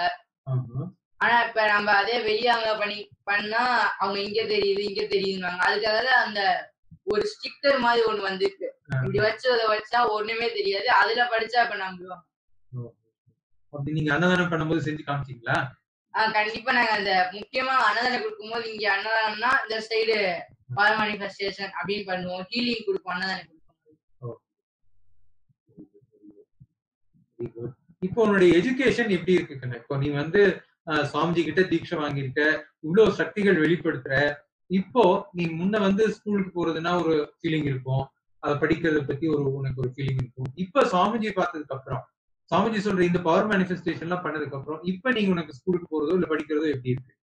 எனக்கு இப்ப உண்மையிலே சொல்லலாம் ஒரு மிராக்கள் இந்த நம்ம பெங்களூர்ல கும்பாபிஷேகம் நடந்துச்சு. அப்ப எனக்கு சோசியல் எக்ஸாம் இருந்தது மண்டே நான் ரெண்டு நாள் இருந்துச்சு. நா- ஒரு நாள்ல லீவ் இருந்துச்சு நாங்க வீட்ல வந்ததுக்கு அப்புறம் படிக்கல அப்பயும் நான் படிக்கல. ஆனா எக்ஸாம்ல போனோடனே சாமி மந்திரம் சொன்னேன் ஃபர்ஸ்ட் பேப்பர் வந்தோடனே மந்திரம் சொல்லி சாமி நான் எழுது நான் அப்படியே ஸ்டார்ட் பண்றேன். நீங்களே எனக்கு அப்படியே எழுது எழுத ஹெல்ப் பண்ணுங்கன்னு. அதை எழுதிட்டே இருக்கு அது எல்லாமே கரெக்ட் அந்த சோசியல் இதுல நான் third rank very good very good அப்புறம் இப்ப நான் ஃபர்ஸ்ட் டேர்ம்ல இருந்ததோட செகண்ட் டேர்ம்ல சாமி நினைச்சு படிக்கும் போது. இப்ப கிளாஸ்லயே நான் செகண்ட் ரேங்க்ல வெரி குட் வெரி குட் எப்படி இந்த அளவுக்கு உன்னுடைய எஜுகேஷன்ல எப்படி நீ இவ்வளவு ஷார்ப்பா உனக்குள்ளார அதாவது புக்ஸே கூட படிக்காம நீ எப்படி எக்ஸாம்ல எல்லாம் ஒரு நல்ல மார்க் வாங்கி நல்ல ரேங்க் வாங்க முடியுது எப்படின்னு நினைக்கிறேன்? இப்ப நான் படிக்கிறனாலும் இந்த போய் அங்க உட்காந்தோடனே சாமியை மட்டும் தான் முக்கியமா நினைப்பேன். அப்புறம் எழுதின உடனே சாமி எல்லாமே எனக்கு கரெக்டா காமிச்சிடுவாரு அதுல எனக்கு எல்லாமே சாமி கம்பி எல்லாம் கரெக்டா இப்ப இந்த மாதிரி உன்னுடைய லைஃப்ல சுவாமிஜி கிடைச்ச உடனே இவ்வளோ உனக்குள்ளார ஒரு கொண்டாட்டம் ஒரு சக்தி வெளிப்பாடு இதெல்லாம் நடக்குது. அதே போல உன்னுடைய ஏஜ்ல இருக்க உன்னுடைய ஃப்ரெண்ட்ஸுக்கு நீ வந்து என்ன சொல்லணும்னு நினைக்கிற? என் ஃப்ரெண்ட்ஸ்ட இப்ப சாமியை பத்தி சொன்னாலும் சில பேர் வந்து புரிஞ்சுக்குவாங்க சில பேர் புரிஞ்சுக்க மாட்டாங்க. ஹிந்துஸ்னா நல்லா உள்வாங்குவாங்க கிறிஸ்டியன்ஸ்னா அவங்களும் வாங்க அவங்களும் இது எக்ஸ்பீரியன்ஸ் ஆக மாட்டாங்க மத்தவங்களும் எக்ஸ்பீரியன்ஸ் ஆக விட மாட்டாங்க. சோ மத்த ஃப்ரெண்ட்ஸ் எல்லாம் உங்ககிட்ட ரிசீவ் பண்ணிக்குவாங்களா? ஹிந்து ஃப்ரெண்ட்ஸ் எல்லாம் உங்ககிட்ட கேட்டு வாங்கிக்குவாங்களா? ஆஹ் இந்து ஃப்ரெண்ட்ஸ் வந்து ஒருத்தன் வந்து எங்க அக்கா வந்து கண்ணை கட்டி படிக்கிறத பார்த்துருக்கோம். அதுலயே ஆச்சரியமா இருக்கான் எப்படி இதெல்லாம்? வெரி குட் இப்ப தொடர்ந்து சாமிஜியினுடைய சக்தி வெளிப்பாடு இப்ப அடுத்து பரமசிவகம் லெவல் டூ அதாவது பேட்ச் ரெண்டாவது ப்ரோக்ராம்லயும் இப்ப நீங்க கலந்துட்டு இருக்கீங்க. ஃபேமிலியோட வாலண்டியரிங் சர்வீஸும் பண்றீங்க. சோ இப்ப இந்த மதுரை ஷாம்லா சர்வங்க பீடத்துல இருந்து இந்த ஒரு பாக்கியம் பகவான் உங்களுக்கு ஆசீர்வாதத்துல கிடைச்சிருக்கு. இப்ப இந்த மதுரையில நடக்கிற இந்த ஒரு ஃபீலிங் உங்களுக்கு எப்படி இருக்கு பர்சனலா இப்ப முதல்ல எனக்கு அங்க போகும்போது இப்ப வேற ஏதாவது ஆசிரம் போகும்போது எனக்கு ஃபீலிங்கே ஒண்ணுமே இல்ல. அதாவது விழிப்புணர்வு இல்லாம இருந்தேன். இங்க வந்த உடனே இப்படி ஒரு விழிப்புணர்வு வந்துச்சு எனக்கே தெரியல. அந்த அளவுக்கு நான் மாற்றமாயிருக்கேன் இந்த இடம் உனக்கு பிடிச்சிருக்கா? இந்த இடம் எனக்கு ரொம்ப நல்லா பிடிச்சிருக்கு. இப்பதான் விழிப்புணர்வு ஆயிருக்கேன். அங்க எல்லா இடத்துக்கும் போய் சாமி பவர் மேனிஃபெஸ்ட் பண்ணோம். இப்ப இப்பதான் எனக்கு ஒரு ஆசையா இருந்துச்சு உனக்குள்ளார நடக்கிற இந்த அனுபவம் உன்னை போல இருக்கிற எல்லா குழந்தைகளுக்கும் இது கிடைக்கணும். இதுக்கு வந்து தொடர்ந்து நமக்கு கிடைச்ச அந்த ஒரு அஹ், ஞான சக்தியும் சாமி கொடுத்திருக்கிற ஆஹ், அந்த சக்தி வெளிப்படுத்துறதுக்கான நுட்பமும் எல்லா ஃப்ரெண்ட்ஸுக்கும் கிடைக்கணும்னா நீ என்னென்னவெல்லாம் இனிமேல் ஃபர்தரா செய்யணும்னு நினைக்கிற? என் ஃப்ரெண்ட்ஸை முக்கியமா நான் என்ரீச் பண்ணுவேன். என்ரீச் பண்ணி அவங்க இப்ப எங்க அன்னதானம் கொடுக்குறோமோ அவங்கள வர சொல்லி அந்த பவர் மேனிஃபெஸ்ட் எல்லாம் பண்ணி சாமியை பத்தி நல்லா சொல்லி இந்த நியூஸ்ல தான் அவங்க இப்படி போடுறாங்கன்ற வெளியே சொல்றதெல்லாம் கேட்டுக்கிட்டு இருக்காங்க இன்னும். ஆனா உள்ள வந்து பார்த்தாதான் அவங்களுக்கு தெரியும் அந்த அது எப்படி இருக்குன்றது. நியூஸ் நியூஸ பார்த்து பலரும் வந்து சாமிஜியை பத்தி தப்பா நினைக்கிறாங்க இல்லையா? இப்ப அந்த மாதிரி இருக்கிற பொழுது நீ அவங்களுக்கு என்ன சொல்லுவ? இப்ப சாமி இப்படி எல்லாம் ஆஹ், தப்பா சொல்றாங்களே அப்படின்னு யாராவது ஒருத்தர் சொன்னா நீ அவங்களுக்கு என்ன சொல்லுவ அந்த அவங்க அவங்க நியூஸ் என்ன நியூஸ்காரங்களை பத்தி முக்கியமா சொல்லிட்டு இப்ப நம்ம சாமி என்னென்ன பண்றாரு அது எல்லாமே இப்பதான் சொல்றது. இப்ப சொல்றாங்க நியூஸ்ல சொல்றது பொய்ன்னு உ- உண்மையிலே தெரிஞ்சு இப்ப நியூஸ்ல சொல்றாங்க சாமி ஷூட்டிங் ஆர்டர் வாங்கிட்டோம் கைலா எங்க இருக்குன்னு கண்டுபிடிச்சிட்டோம். சாமியை ஜெய் அரெஸ்ட் பண்றோம் ஆனா பார்த்தா சாமி கல்யாணம் நமக்கு டெய்லி லைவ்லயே வராரு. அதுல இருந்து தெரியுது நியூஸ்காரங்க நல்லா பொய் சொல்றாங்கன்றது. இந்த ஒரு கிளாரிட்டி அதாவது இந்த ஒரு தெளிவு உன்னுடைய லைஃப்ல அதாவது இந்த சின்ன வயசுலயே கிடைச்சிருக்கு அப்படின்னா கண்டிப்பா நீங்க ஃபியூச்சர்ல நிச்சயமா சமூகத்திற்கும் சரி உங்களுடைய வாழ்க்கைக்கும் ஒரு மிகப்பெரிய ஒரு ஆஹ், தலைமை பண்போடு ஒரு ஒரு லீடரா இந்த உலகத்துக்கு நீங்க நிச்சயமா வருவீங்க. அது சுவாமிஜி சொல்லக்கூடிய அந்த ஞான குழந்தைகள் இப்ப சுவாமிஜியினுடைய வாரிசாக நீங்க எல்லாரும் வந்திருக்கீங்க. நீங்க ஒரு ஒருத்தரும் உண்மையிலேயே சொசைட்டிக்கு அதாவது சமூகத்திற்கு மிகவும் மிகவும் தேவையான சொத்துக்கள் நீங்க ஒரு ஒருத்தரும் மக்களுக்கு நேரடியாக செய்யக்கூடிய அந்த சேவை ஞானத்தின் மூலமாக நடக்கக்கூடிய அந்த சேவை தொடர்ந்து நடக்கணும். இது பகவான் எப்படி உங்களுக்கு அந்த சக்தியை கொடுத்தாங்களோ அதே போல இன்னும் எத்தனை குழந்தைகள் அதாவது எத்தனை வயது ஆஹ், அந்த இளைஞர்கள் இப்போ உங்களை மாதிரி ஏஜ் குரூப்ல இருக்கிறவங்களுக்கும் சுவாமிஜி இன்னும் கிடைக்கலையே. அதாவது இந்த மாதிரி ஒரு குரு அவங்க அதாவது தீட்சை அவங்க இன்னும் வாங்காம இருக்காங்க. இவ்வளோ பெரிய மிகப்பெரிய பொக்கிஷம் வரப்பிரசாதம் உனக்கு கிடைச்சிருக்கிற மாதிரி இதே போல மற்றவங்க எல்லாத்துக்கும் கிடைக்கணும். இது நீங்க தொடர்ந்து இதுக்கு நாமளும் பொறுப்பு எடுத்து அதாவது இப்ப எப்படி நித்யானந்த கீ- நேயர்களுக்கு இப்ப நீ எப்படி இந்த ஆஹ், உன்னுடைய அனுபவத்தை பகிர்ந்துருக்கியோ அதே போல தொடர்ந்து பல்வேறு வழிகள் மூலமா அதாவது சோசியல் மீடியா மூலமா அல்லது மக்களை நம்ம தொடர்பு கொள்றதுக்கு என்னென்ன வழிகள் இருக்கின்றதோ இப்ப அன்னதானம் செய்யறது மூலமா அங்க மக்களுக்கு நீங்க நேரடியா சொல்ல முடியும் அதாவது சுவாமிஜியினுடைய ஆஹ், கிட்டேயே இருந்து நீங்க எல்லாரும் எக்ஸ்பீரியன்ஸ் பண்ண அந்த சக்தி அந்த அனுபவத்தை உங்களுடைய ஃப்ரெண்ட்ஸ் எல்லாத்துக்குமே ஷேர் பண்ணுங்க. அதுதான் இப்போ இன்னைக்கு நான் உங்க கூட பகிர்ந்து இதை தெரிவிக்கணும்னு நினைச்சேன். இப்போ நீங்க நேயர்களுக்கு ஏதாவது சொல்லணும்னு நினைச்சீங்கன்னா தாராளமா இப்ப வந்து பாத்தீங்கன்னா இப்ப நம்ம பெரியவங்க அப்படின்னு வெளியாளுங்க யாருக்குமே சாமியை பத்தி தெரியல. ஒரு சின்ன குழந்தைக்கு தெரியும். சாமி போட்டோ பத்தி தொட்டு கும்பிடுறோம் எங்க ஒரு குட்டி தம்பி. அப்போ ஒரு குட்டி பாப்பா சாமி மந்திரத்தை அப்படியே சொல்லுது. அவங்களுக்கு சாமி கிட்ட வரணும்னு ஆசை. அன்னைக்கு ஒரு நாள் வரணும்னு ஆசை. ஆனா வர முடியாம போயிடுச்சு. ஆனா முக்கியமா சாமி சொல்றாரு சாமியோட கருத்தை ஃபாலோ பண்ணிட்டு முழுமையா ஒரு சைவமா வாழுங்க அப்படின்னு சொல்லியிருக்காங்க சாமி. அந்த சைவம் அப்படிங்கிறது இப்போ வெறுமனே உணவு பழக்கத்துல மட்டும் இல்ல அதாவது நீங்க சைவ வாழ்க்கை வாழ்றது அப்படிங்கிறது நீங்க சொன்ன மாதிரி காலையில எழுந்திருச்சதையும் நம்ம விபூதி அணியறதுல இருந்து நம்ம சுவாமியை நினைச்சு பிரார்த்தனை பண்ணிக்கிட்டு நம்ம மகா வாக்கியம் சேன் பண்ணிட்டு தினந்தோறும் நம்ம யோகம் செஞ்சு பூஜைகள் செய்து சத்சங்கங்கள் தம்பியனுடைய சத்சங்கங்கள் கேட்கறது இதெல்லாம் தான் என்னது? சைவ வாழ்க்கை முறை. அதாவது உணவு உட்கொள்றது அப்படிங்கிறது வெறுமனே சாப்பாடு மூலமா மட்டும் நம்ம எடுத்துக்கிறது இல்ல. இந்த எல்லா ஐம்புலன்கள் மூலமாக நம்மளுக்குள்ளார செய்திகள் போயிட்டு தான் அது எல்லாமே ஆதாரம் தான். தொடர்ந்து மீடியாவையோ இல்ல மற்ற விஷயங்களை நம்ம பார்க்கும்போது கொரோனா வைரஸை பத்தி பெரிய பயம்தான் மக்களுக்கு ஏற்படுது. ஆனா இப்ப நித்யானந்தா டிவி பாக்குற இப்ப நம்முடைய நேயர்களுக்கு ஒரு ஒரு மிகப்பெரிய ஒரு சேஞ்ச் ஒரு மாற்றம். ஆஹா ஒரு சின்ன குழந்தை பாருங்க எந்த அளவுக்கு தெளிவா கொரோனா வைரஸை பத்தி ஒரு தெளிவும் அதுல எந்த விதமான பயமும் இல்லாம மக்களுக்கு நேரடியா என்ன சேவை செய்ய முடியுமோ அதை செய்யறாங்கன்னா அப்ப இதுதான் உண்மையான கான்ட்ரிபியூஷன் உண்மையான பங்களிப்பு மக்களுக்கு நேரடியாக நம்ம செய்ய ஸோ இதனால கொரோனா வைரஸ் மூலமா யாரு ஒருத்தர் உங்களுக்கு ஒரு மிகப்பெரிய அதிர்ச்சி தரக்கூடிய இல்ல பயம் தரக்கூடிய விஷயங்கள் சொன்னாலும் நீங்க சிவ தீட்சை வாங்கிய அன்பர்களுக்கு எல்லோருக்கும் பகவான் கொடுக்கிறது. இப்ப பாத்தீங்கன்னா நம்ம உதய பிரகாஷ் உட்பட எல்லாருமே அந்த தீட்சை வாங்கியிருக்காங்க. இவங்களுக்கு இந்த தீட்சை வாங்கி இந்த சைவத்தை வாழும்போது சைவம் அப்படிங்கிறது வாழ்க்கை முறையாக இவங்க வாழும்போது கொரோனா வைரஸ் அப்படிங்கறத பத்தி ஒரு புள்ளி கூட பயப்படவே தேவையில்லை. ஏன்னா எந்த ஒரு அஹ், வைரஸும் நம்முடைய உடம்புல நோய் எதிர்க்கும் சக்தி குறைவா இருந்ததுதான் உள்ள வர முடியும். இப்போ இந்த பாதுகாப்பு கவச்சம் இருக்கும்போது எந்த ஒரு துர்சக்திகளும் நம்ம கிட்டேயே வர முடியாது. அந்த அளவுக்கு ஒரு பாதுகாப்பு கவச்சம் உள்ளுக்குள்ளார இருக்கு. சோ இது வந்து ஒரு ஆஹ், சஸ்திரம் சாஸ்திரம் எல்லாமே நமக்கு கொடுக்குது. இப்போ இந்த ஆஹ், சிவ மூலமாக அந்த பகவான்கிட்ட நேரடியா வாங்குற இந்த கண்ட ருத்ரா இது ஒவ்வொரு வாழ்க்கை முறையும். இப்ப உதயபிரகாஷ் பார்க்கும்போது ரொம்ப ரொம்ப இனிமையாகவும் ரொம்ப ஸ்வீட்டா அவர் பேசக்கூடிய வார்த்தைகள் நம்மளுக்கு இதமா இருக்கின்றது. அதாவது என்னன்னா இந்த சின்ன வயசுலயே அவனுக்கு ஒரு அவதார புருஷரே வந்து எனது குருவா கிடைச்சிருக்காங்க.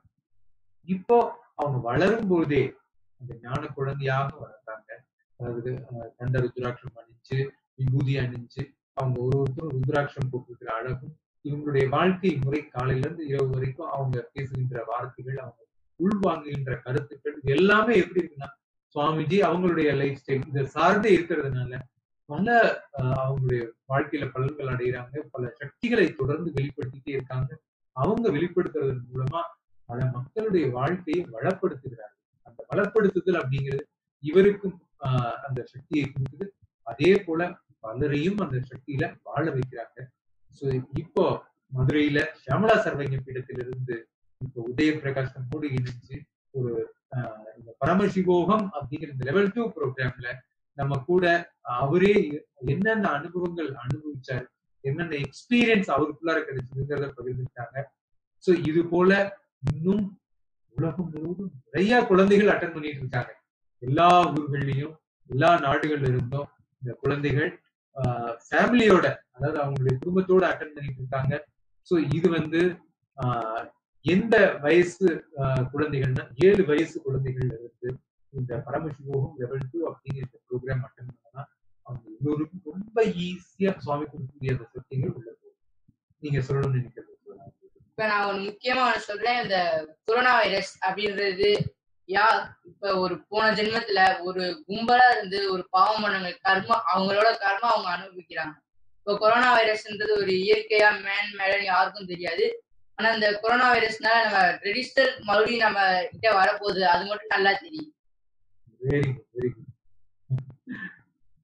அதாவது எந்த அளவிற்கு ஆழமான அந்த அந்த- ஞானத்தின் தெளிவு அவங்களுக்குள்ளார இருந்தா கொரோனா வைரஸ்னால நம்மளுக்கு பாதிப்பு இல்லை. அதனால நல்லதுதான் நடக்க போகுது நன்மைதான் நடக்க போகுது அப்படிங்கிற அந்த புரிதல் அவங்களுக்குள்ளார வந்திருக்கும் சோ எப்படி நன்மை நடக்க போகுதுங்கிறத நீங்க பாக்குறீங்க அந்த கொரோனா வைரஸ் இப்ப இந்த கொரோனா வைரஸ் அப்படின்னு சாமி ஒரு சத்சங்கம் சொல்லியிருக்காரு. அஹ் இப்ப வந்து கொரோனா வைரஸ்ன்றது மேன்மேடாவும் இருக்கலாம் இயற்கையாவும் இருக்கலாம். ஆனா அந்த கர்ம யா- கர்ம வினைகள் யாருக்கு இருக்கோ அவங்களதான் அந்த கொரோனா வைரஸ் தாக்கும்.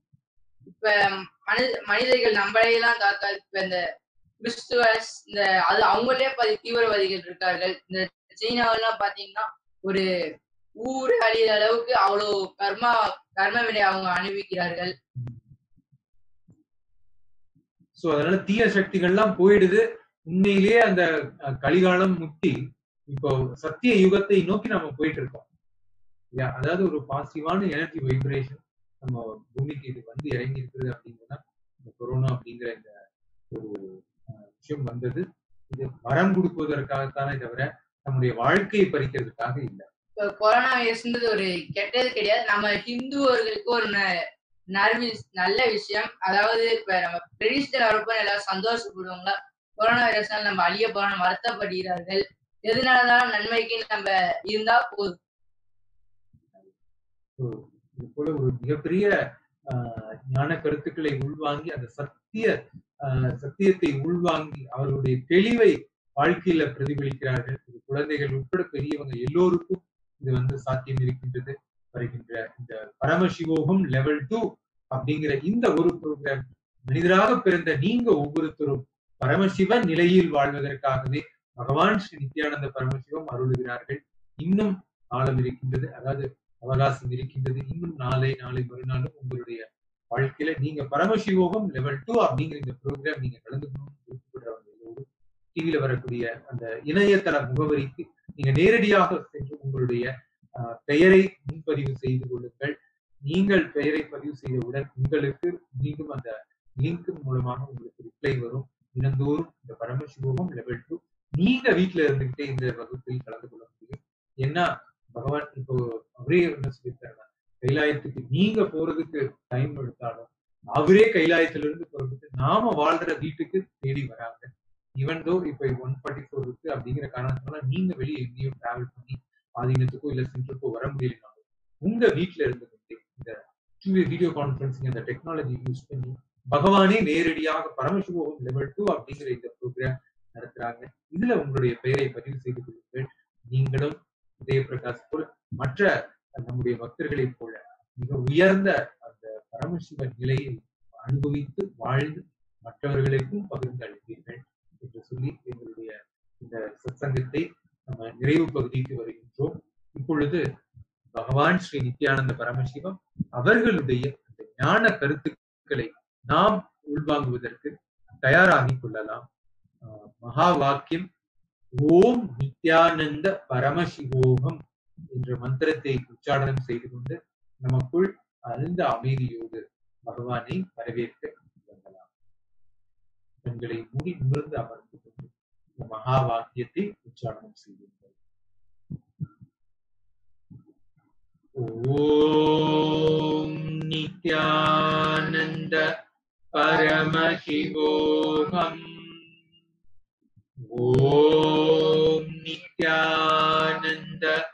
பரமசிவோகம் ஓம் Nityananda பரமசிவோகம்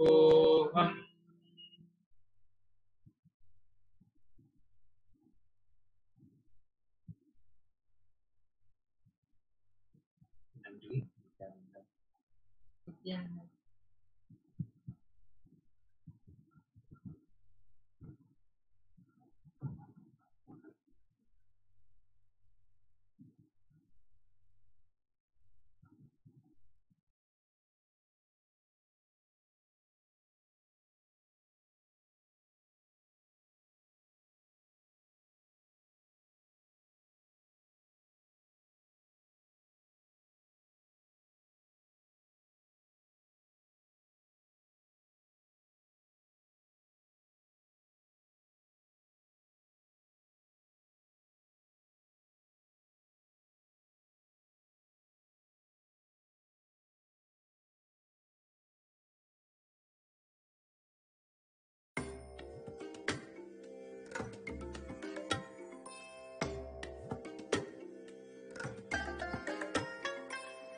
bless you all. Let you all open all your three eyes and manifest the powers of Mahasadashiva. Om Nityananda Paramashivo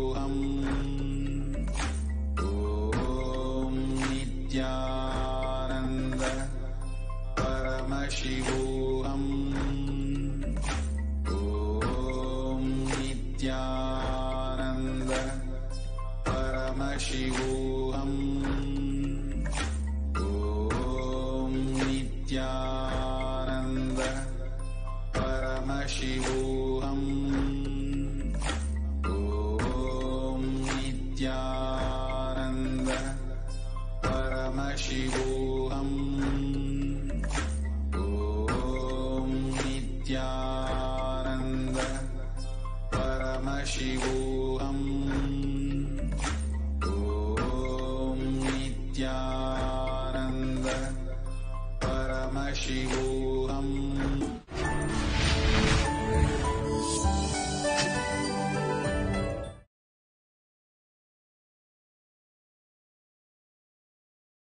नित्यानन्देश्वरसमारम्भाम् नित्यानन्देश्वरि मध्यमाम् अस्मदाचार्यपर्यन्ताम् वन्दे गुरुपरम्पराम्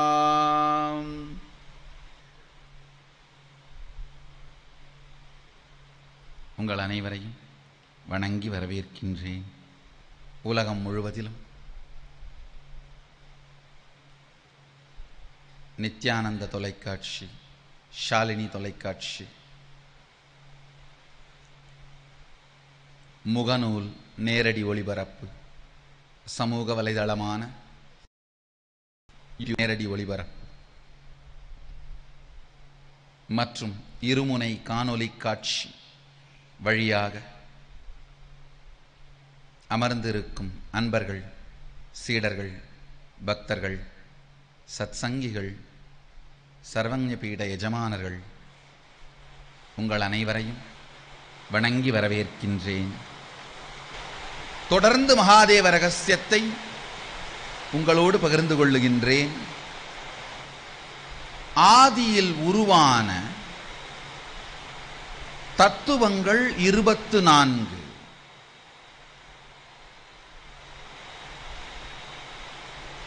தத்துவங்களை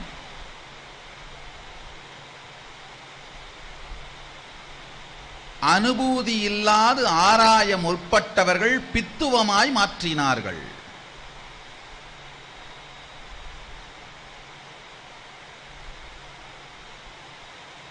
தத்துவம் பித்துவம் ஆனதால் அதற்குள் சாரமாக பெருமான் ஒழித்து வைத்திருந்த மகாதேவ ரகசியம் இழக்கப்பட்டது. தமிழ்ல ரொம்ப பிரபலமான பரமார்த்த குருவும் நான்கு சீடர்களும் ஒரு கதை தொகுப்பு இருக்கு. பரமார்த்த குருக்கு ஒரு நாலு சீடர்கள் இருந்தாங்களாம். அந்த நாலு பேர் திரும்ப வந்திருக்காங்கன்னு மட்டும் எனக்கு தெரியும்.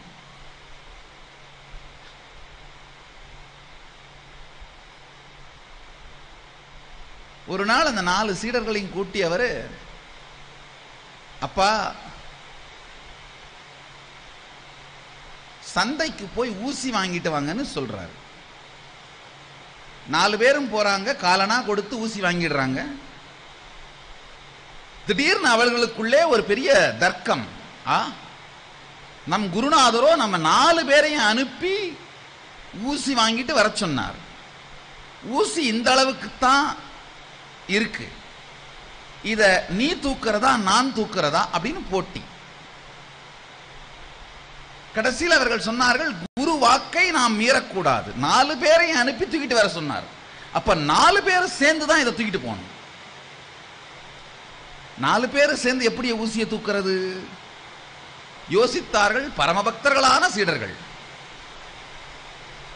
நாலு பேர் சேர்ந்து இந்த ஊசியை தூக்க முடியாது. அப்ப நாலு பேர் சேர்ந்து தூங்குற தூக்குற மாதிரி ஒரு பொருளை வாங்கி அது மேல ஊசியை குத்தி தூக்கிட்டு போலான்னு முடிவு பண்ணார்கள். ஊசி காலனா? நாலு பேர் சேர்ந்து தூக்குற மாதிரி ஒரே பொருள் அந்த சந்தையில் இருந்தது ஒரு பனைமரம். அது பதினாறு அணா. பதினாறு அணாக்கு பனைமரத்தை வாங்கி காலனாக்கு வாங்கின ஊசி அந்த பனைமரத்து மேலே குத்தி நாலு பேர் சேர்ந்து நடக்க முடியாமல் தூக்கி கொண்டு ஆசிரமத்திற்கு திரும்ப வர துவங்கினார்கள். காடு மலை எல்லாம் கடந்து கடைசி ஆசிரமத்துக்கு வரும்போது அல்மோஸ்ட் நடு நடுங்கி உடல் வெதுங்கி எப்ப வேண்டுமானாலும் அவர்கள் விழுந்து மூர்ச்சையடைந்து விடுகிறார்கள் விடுவார்களோ என்கின்ற நிலையோடு வருகிறார்கள். ஆசிரமத்துக்குள்ள நுழையும் பொழுது பரமார்த்த குரு பார்த்து நடுநடுங்கி போய்விட்டார். ஊசி தானே கேட்டேன். பனைமரத்தை கொண்டு வருகிறார்களே என் பரமசீடர்கள்.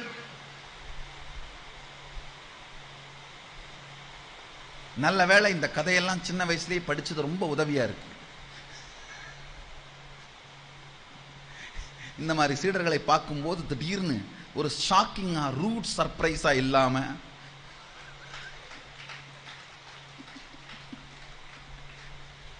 இந்த கதையெல்லாம் படித்து வச்சது ஒரு அதிர்ச்சி தரும் வியப்பான சர்ப்ரைஸாக இல்லாமல் இருக்கு. குருவுக்கு புரியல. ஊசி எங்கடான்னு கேட்குறாரு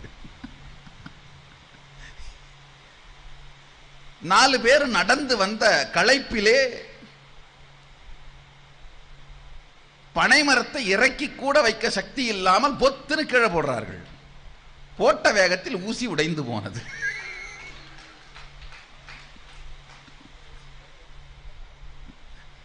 இதுதான் பரமார்த்த குருவும் அவருடைய நான்கு சீடர்களும் ஊசி வாங்கின கதை.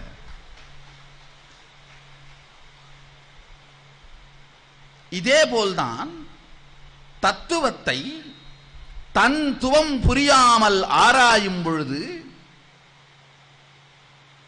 ஊசி வாங்கப் போய் பனைமரம் வாங்கி பனைமரத்தில் குத்திய ஊசி காணாமல் போனது போல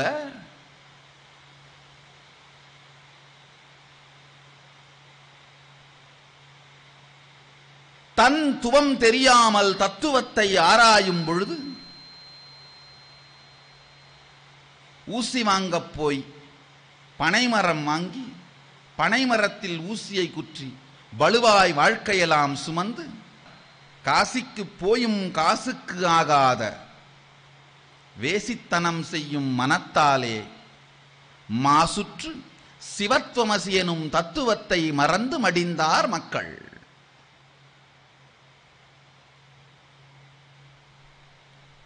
குரு ஒரு தத்துவத்தை என் நிலையிலிருந்து தன் துவத்திலிருந்து தருகிறாரோ அதையே தன் துவமாய் மாற்றிக்கொண்டவர்கள்தான் தத்துவத்தை புரிந்து கொள்கிறார்கள். இல்லைன்னா ஊசி வாங்க போய் பணமரம் வாங்கி வந்ததுதான். இதே போல ஒரு முறை பரமார்த்த குரு தன் நாலு சீடர்களை அழைத்து ஆனைக்குட்டி வாங்கி வாருங்கள் ஆசிரமத்துக்குன்னு சொல்லி அனுப்புறாரு. ஆயிரம் பொன் கொடுத்து.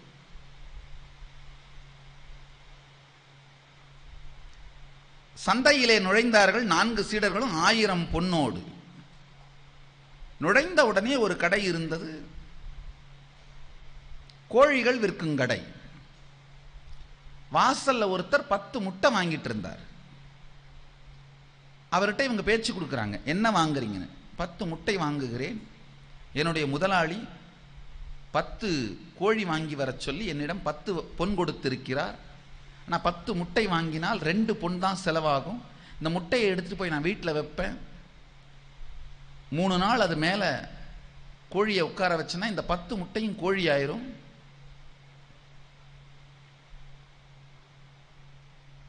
அதுக்கு பிறகு என்னுடைய முதலாளிகிட்ட இந்த பத்து கோழியையும் கொடுத்துருவேன். எட்டு வராகன் எட்டு பொன் எனக்கு மிச்சமாகும். உடனே பரமார்த்த குருவின் நாலு சீடர்களுக்கு முதித்தது யோசனை. நாமும் யானை முட்டை வாங்கி செல்லலாம். யானை முட்டை மேல யானையை உட்கார வைக்கணுமே அது என்ன பண்றது? அதுல ஒரு சிஷ்யன் சொன்னான் ஏ யானையை வசியம் பண்ணி உட்கார வைக்கிற மந்திரத்தை குரு எனக்கு கத்து கொடுத்துருக்காரு. நம்ம யானை முட்டை பத்து வாங்கிட்டு போய் ஆசிரமத்தில் வச்சு காட்டு வழியா நிறைய யானைங்க வருது. அதை ஒன்றுத்த வசியம் பண்ணி அது மேல நான் உட்கார வைக்கிறேன்.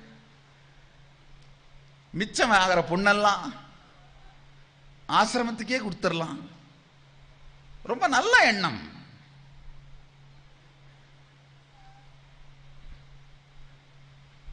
சுத்தி சுத்தி தேடினார்கள் சுகவாசிகள்.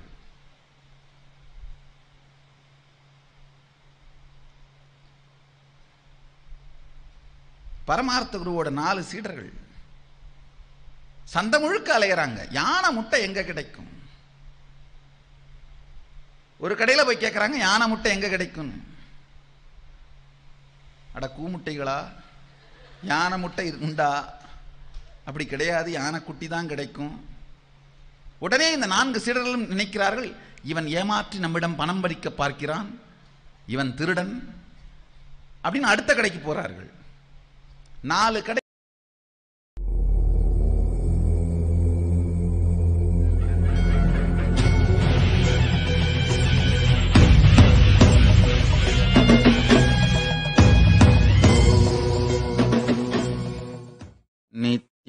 नित्यानन्देश्वर परमशिवसमारम्भाम्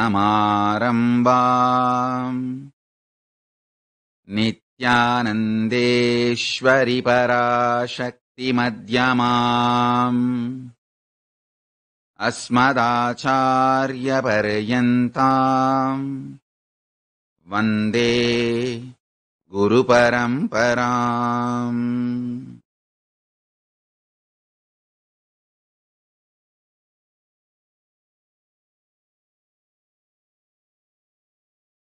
உங்கள் அனைவரையும் வணங்கி வரவேற்கின்றேன்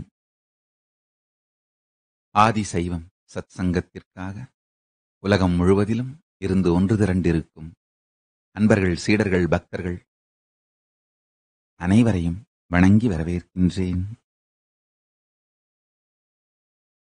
கடந்த சில நாட்களாக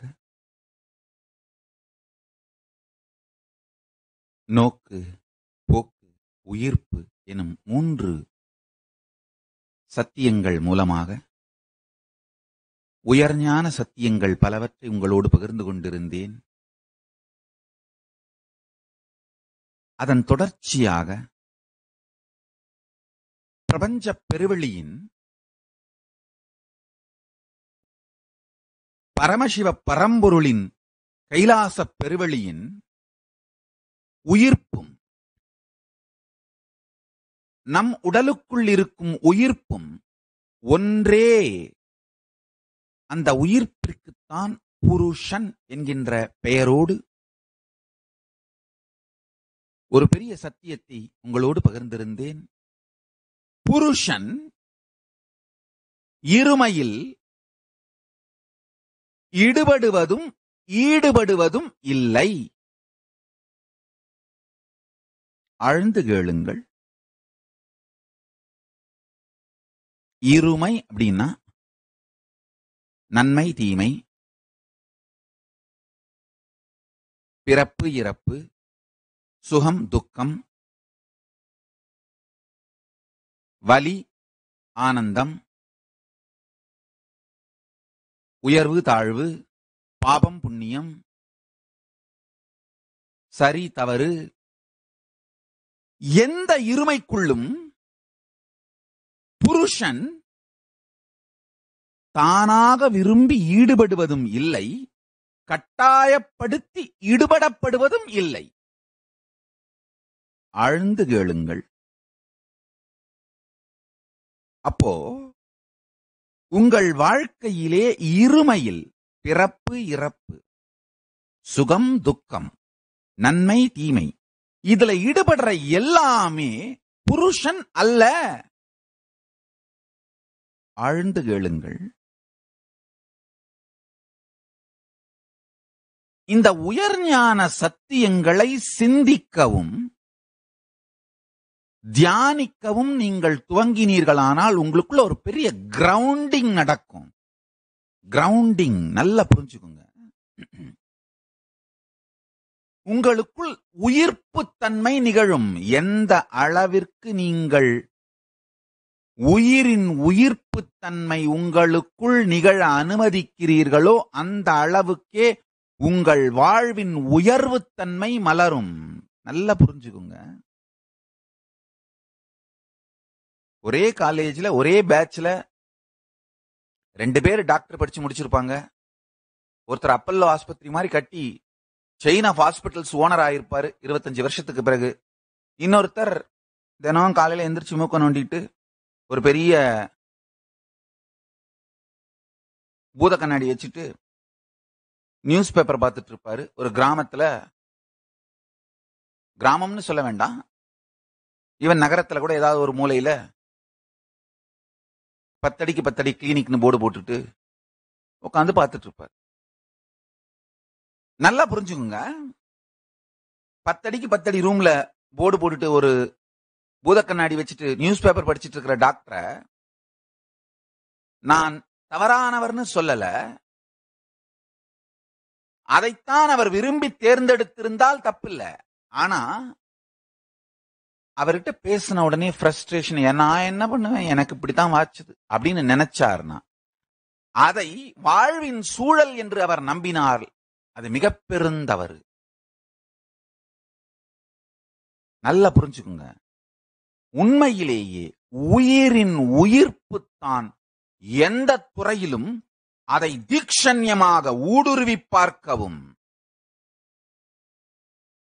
நேர்மை மாறாத தலைமையாக மாறவும். நல்லா புரிஞ்சுக்கோங்க. இப்போ ஒரு முக்கியமான வார்த்தையை சொல்றேன். திருடி கொள்ளையடிச்சு ஊரையமாத்தி அந்த மாதிரி சேர்க்கின்ற சொத்தை பற்றி அதுபோல் வருகின்ற பலத்தை பற்றி நான் சொல்லவில்லை. நான் சொல்றது அதே மாதிரி இப்ப நான் எந்த நிறுவனத்தையும் இயக்கத்தையும் குறை சொல்லவில்லை. பேர் சொன்னது வந்து ஒரு உதாரணத்துக்காக வளர்ச்சிக்காக அது சார்ந்து சொல்வதற்காக பேர் சொன்னதை தவிர விமர்சிப்பதற்காக அல்ல. ஆழ்ந்து கேளுங்கள். அப்பல்லோ ஹாஸ்பிட்டல்ன்ற பேர் சொன்ன அதனால அவர்களை விமர்சிக்கிறேன்னு நினைக்காதீங்க. அவர்கள் பல கஷ்டங்களுக்கு இடையில் கோடிக்கணக்கான மக்களுக்கு மருத்துவத்தை கொண்டு சென்று சேர்த்திருக்கிறார்கள். நான் சொல்றத நல்லா புரிஞ்சுக்கோங்க. ஆழ்ந்து புரிந்து கொள்ளுங்கள். ஒரு டாக்டர் பெரிய இயக்கமாக மருத்துவத்தை மாற்றுவதும் இல்ல தனிநபரா நாலு பேரை பார்த்துட்டு இறந்து போறதும் அவருடைய உயிர் எந்த அளவிற்கு உயிர்த்திருக்கிறது என்பதை சார்ந்தது. தலைமை பண்பு உயிரின் உயிர்ப்பு சார்ந்தது.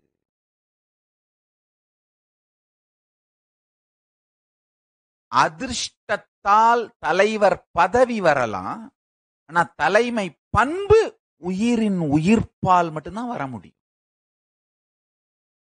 உயிரின் உயிர்ப்பு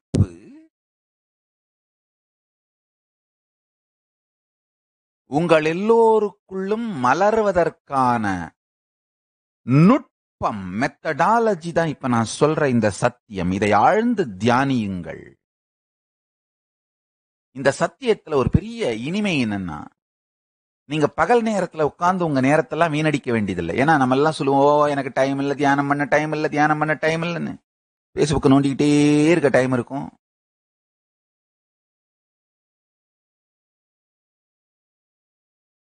ஊர்ல இருக்கிற எல்லாத்தையும் பண்றதுக்கு டைம் இருக்கும் தியானம் பண்ண நமக்கு டைம் இருக்காது. அதெல்லாம் தெரிஞ்சுதான் பெருமான்.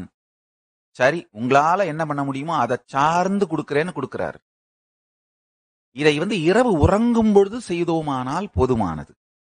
நல்லா புரிஞ்சுக்குங்க. பிரபஞ்ச பெருவெளி பராகாச பரம்பொருள் பரமசிவ கைலாச பெருவெளி. அதன் உயிர்ப்பும் இந்த உடலுக்குள் சிதாகாசத்திற்குள் சிதம்பரத்திற்குள் திருநடம் இடும் இந்த உயிர்ப்பும் ஒன்றே. ராத்திரி தூங்கும் பொழுது இந்த சத்தியத்தை சிந்தித்தவாறே உறங்குங்கள். ஜூம் அவுட் பண்ணா கைலாசம் ஜூம் இன் பண்ணா நீங்கன்ற உணர்வு. கைலாசத்தின் பரவெளியின் பரம்பொருளும் பரமசிவமுமான அந்த உயிர்ப்பேதான் உங்களுக்குள் நான் நான் நான் என்கின்ற உணர்வாக திருநடம் செய்யும் பரசிவப் பெருவெளி பரம்பொருள் புருஷன் அந்த உயிர்ப்பும் இந்த உயிர்ப்பும். பிரம்மாண்டத்தின் உயிர்ப்பும் பெண்டாண்டத்தின் உயிர்ப்பும் ஒன்றே. அதுவே புருஷன். அந்த புருஷன் இருமைகளில் ஈடுபடுவதும் ஈடுபடுவதும் இல்லை.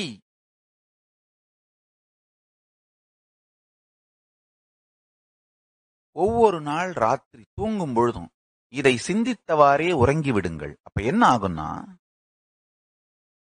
உங்களுடைய கான்சியஸ்னஸ் புருஷன் உயிர் உணர்வு இரவு முழுவதும் தூங்கின நேரம் முழுவதையும் சமாதியாக மாற்றிவிடும். நீங்க தூங்கும் பொழுது மனச்சிக்கலில் மாட்டி இருந்தீர்களானால் அதுதான் நரகம். சுகமான கனவுகளை கண்டால் அது சொர்க்கம். பரமசிவ பரம்பொருளோடு கரைந்திருந்தால் அது சமாதி. தூக்கத்தை சமாதியாக்கும் தியான நுட்பம் இது. இந்த ஒன்னே ஒண்ணு. ஒரு சின்ன பேப்பர்ல எழுதி பெட் பக்கத்துல ஒட்டி வச்சுக்கோங்க. எனக்குள்ளே உயிராக இருக்கின்ற சக்தியும் பிரம்மாண்டத்தின் உயிராக இருக்கின்ற பரமசிவ சக்தியும் இரண்டின் இருப்பும் ஒன்றே. ஒவ்வொரு நாள் இரவும் உறங்கும் போது இதை சிந்தித்தவாறே உறங்கினீர்களானால் உங்களுடைய குவாலிட்டி ஆஃப் த கான்சியஸ்னஸ் உயிரின் உயிர்ப்பு உயரும். உங்க செல்போனை சார்ஜர்ல போட்டுட்டு நைட்டு தூங்குற மாதிரி இந்த சத்தியம் அப்படிங்கிற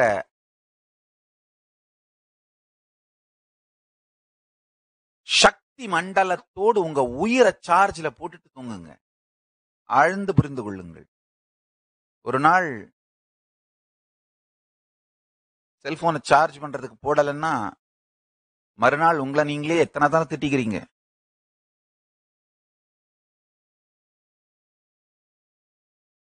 உங்களுடைய செல்போனை சார்ஜில் போடுறது ஒவ்வொரு நைட்டும் எந்த அளவுக்கு முக்கியமோ அதே போல உங்க உயிரை உயிர்ப்பு சக்தியில சார்ஜில் போடுங்க. நல்லா புரிஞ்சுக்கோங்க.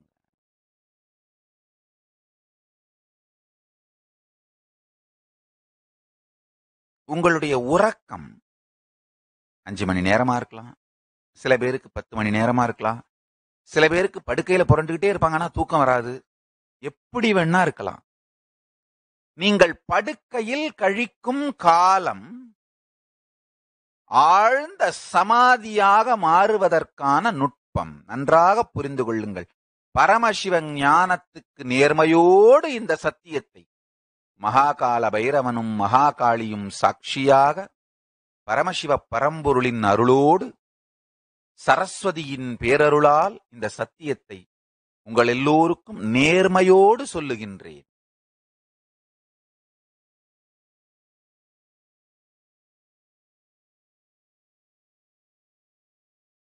ஆழ்ந்து உள்வாங்கு. ஒன்னும் பெருசா கஷ்டமெல்லாம் பட வேண்டியதில்லை. ஐயே அதிசுலபம். ஆன்மவித்தை ஐயே அதிசுலபம்னு ரமண மகர்ஷி பாடினது சத்தியம். அந்த காலத்துல நந்தனார்னு ஒரு ஆதிசைவத்தின் பெருமையை சொல்லுகிற அழகான ஒரு திரைப்படம். ஒரு காலத்துல தமிழ் திரையுலகம் தெய்வீகமயமா இருந்தது. நந்தனார்னு ஒரு திரை ஒரு சினிமா. ஐயே மெத்த கடினம் நான் அந்த சினிமா பார்க்கல ஆனா தெருக்கூத்து. வீதியில வந்து வீதியிலே தெருமுனை நாடகம்னு பண்ணுவாங்க. அங்க இந்த சைக்கிள் பெல் கப்பை தான் தாளமா உபயோகப்படுத்துவார்கள். அந்த மாதிரி ஒரு தெருமுனை பாடகல் பாடல் குழு அந்த பாட பாட்டை பாட்டி இந்த பாடலை பாடி சின்ன வயசுல கேட்டேன். ஐயே மெத்தக்கடினம்னு நந்தனார் சொல்றதும் உண்மை. அது வேற ஆங்கிள் இருந்து வேற போக்குல இருந்து சொல்றாரு. ஐயே அதிசுலபம்னு ரமண மகர்ஷி பாடுறதும் உண்மை. இந்த எளிமையான நுட்பம் இதை உள்வாங்கி தினந்தோறும் உறங்குகிற நேரத்துல மட்டும் நான் நான் என்று எனக்குள் உணருகின்ற நான் நானாகிய நான் இந்த பிரபஞ்சத்தின் நானாக இருக்கின்ற பரமசிவ பரம்பொருளும் இந்த நான் எனக்குள் நான் உணரும் நானும் ஒன்றே. எனக்குள் நான் என்று நான் உணருகின்ற ஒன்றும் பரமசிவ பரம்பொருளுக்குள் இருக்கின்ற நான் என்கின்ற உணர்வும் ஒரே புருஷனே.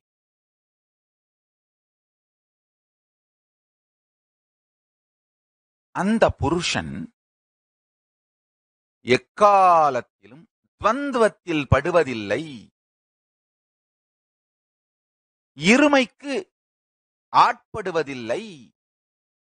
இருமைக்கு அடிமைப்படுவதும் இல்லை ஆட்படுவதும் இல்லை இடிபடுவதும் இல்லை ஈடுபடுவதும் இல்லை உட்படுவதும் இல்லை ஊறுபடுவதும் இல்லை.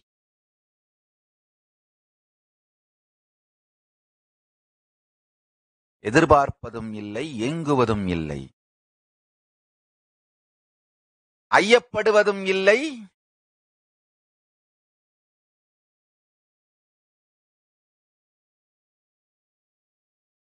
அக்துபடுவதும் இல்லை. ஆழ்ந்து கேளுங்கள். தினந்தோறும் இரவு தூங்கும் பொழுது வயிற லேசா வச்சிருங்க. இரவு உணவை முடிந்தவரை திரவ நிலை ஜூசஸ் மாதிரி. அது மாதிரி இருந்தா வயிறு லேசா இருக்கும்.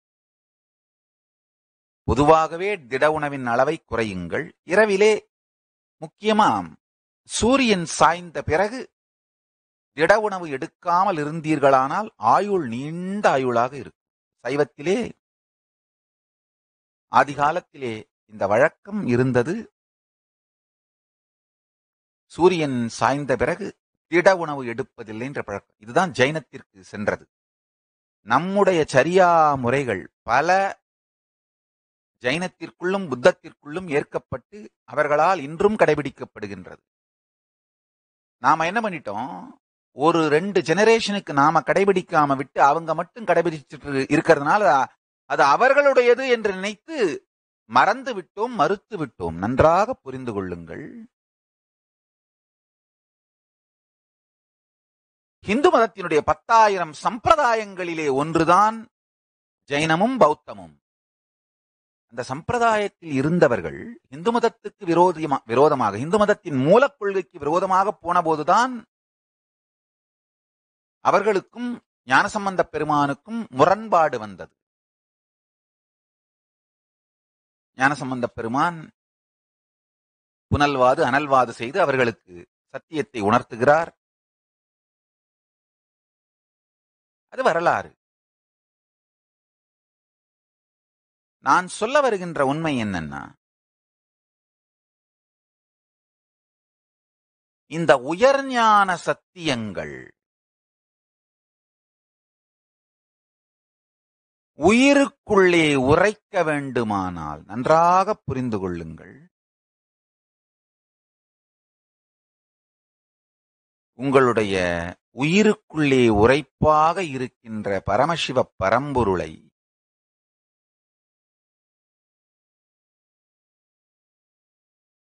உயிரின் உயிர்ப்பாக மேலும் மேலும் பொங்கி மலரச் செய்தீர்களானால் இந்த துவைதம் விசிஷ்டாத்வைதம் சைவ சித்தாந்தம் அத்வைதம் சுத்தாத்வைத்தம் சிவாத்வைத்தம் என்கின்ற பல நிலையிலே பல்வேறு விதமாக சொல்லப்பட்டிருக்கின்ற எல்லாவற்றினுடைய உயிர்ப்பின் சாரமும் சுத்தாத்வைத சைவத்தின் சுகபோத அனுபூதி உங்களுக்குள்ளே மலர ஆரம்பித்துவிடும். அனுபூதிக்கு முக்கியத்துவம் கொடுங்கள். அனுபூதிக்கு முக்கியத்துவம் கொடுக்க கொடுக்க இந்த பல்வேறு சாஸ்திர சம்பிரதாயங்களிலே சொல்லப்பட்டிருக்கின்ற சத்தியத்தின் சாரமெல்லாம் புரிய துவங்கிவிடும். சக்கையை பிடித்தோரே சழக்கெனும் சண்டை செய்து வாழ்வில் வழக்கிலேயே பட்டு அழிந்தார். சாரத்தை பிடித்தோர் பரம்பொருள் பரமசிவ பரம்பொருள் அனுபூதி அடைந்து தன் வாழ்க்கையையே மலரச் செய்து தனக்குள் சுத்தாத்வைத சுகபோதத்திருக்கின்றார். நன்றாக தெரிந்து கொள்ளுங்கள். தலைவன்னா யாருன்னா தனக்கு எதிராக நடத்தப்படுகின்ற சண்டைகளை கூட தனக்கு உதவியாக துணையாக தன்னுடைய பிராண்ட பில்டு பண்ணிக்கிறதுக்கு யூஸ் பண்ண தெரிஞ்சவன் தான் தலைவன். ஆழ்ந்து கேளுங்கள். நீங்க நினைக்கலாம். நந்தனார் சொல்ற ஐயே மெத்தக்கடினம் அதுவும் உண்மைங்கிறாரு. ரமண மகரிஷி சொல்ற ஐயே அதிசுலபம்னு சொல்றது அதுவும் உண்மைங்கிறாரே சாமி. நல்லா புரிஞ்சுக்குங்க. ஆதிசைவ வாழ்க்கை முறையான சரியா பாதத்தை பற்றிவிட்டால் ஞானபாதம் ஐயே அதிசுலபம். இந்த சரியா பாதம் வாழ்க்கை முறை ஆதிசைவ வாழ்க்கை முறை கொண்டை கட்டலும் கொட்டை கட்டலும் நீரு பூசலும் சிவபூஜை.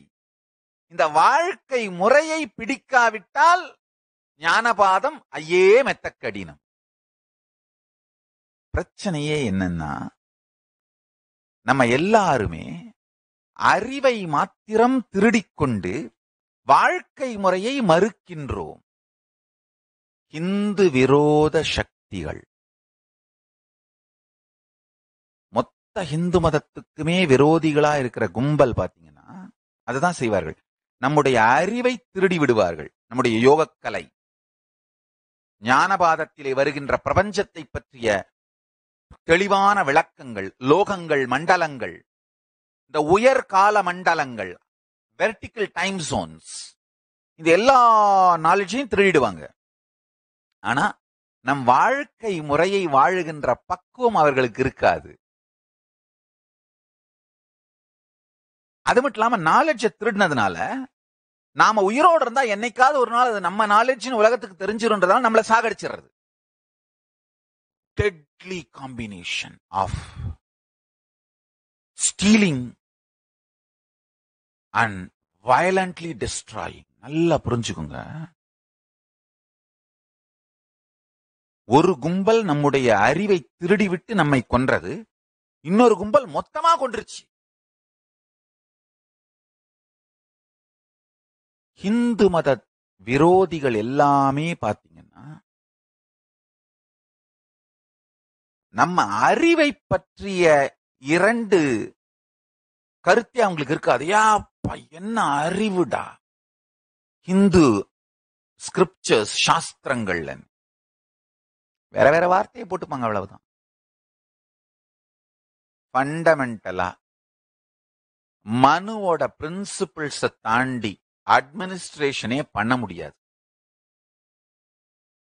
எங்கேயாவது ஒரு இடத்துல சமூகம் சீர்குலையாமல் ஸ்டேபிளா நிலைத்து சட்டம் ஒழுங்கு அழியாமல் நீண்ட நெடிய நூறாண்டுக்கு மேல் நிர்வாகம் நடக்கிறதென்றால் அங்கு மனுவினுடைய பிரின்சிபிள்ஸ் தான் நடக்குது. அந்த பிரின்சிபிள்ஸ் டைரக்டாவோ இன்டைரக்டாவோ அடாப்ட் ஆகலன்னா அந்த சிவிலைசேஷன் நூறு வருஷத்துக்கு மேல தாங்காது. ஆழ்ந்து கேளுங்கள்.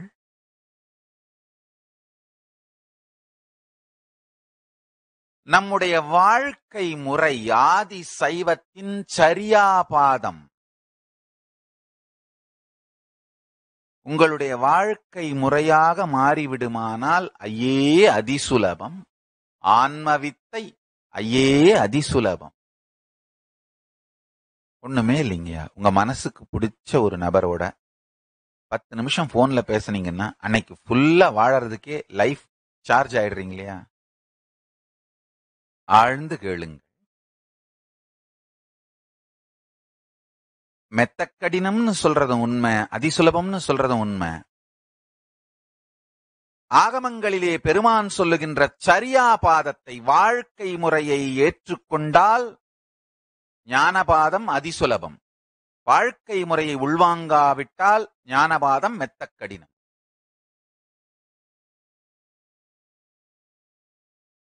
ஒரு சின்ன உதாரணம்.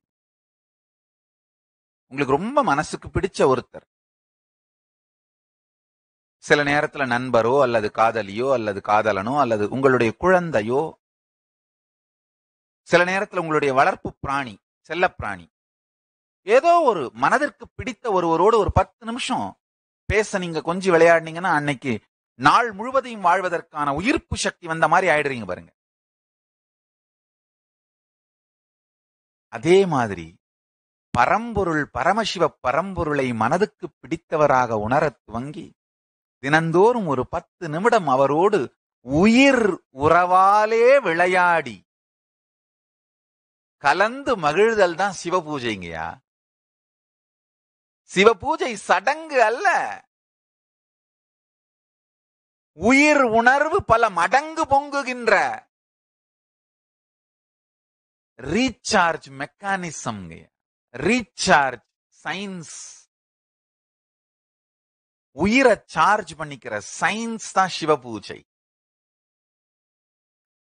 இந்த ஒரே ஒரு சத்தியத்தை தினந்தோறும் இரவு உறங்கும் பொழுது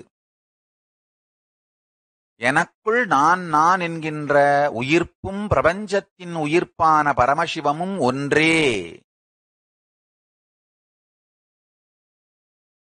இதுவே அந் பிரபஞ்சத்தின் இருப்பாக இருப்பதும் எனக்குள் இருப்பாக இருப்பதும் ஒன்றே.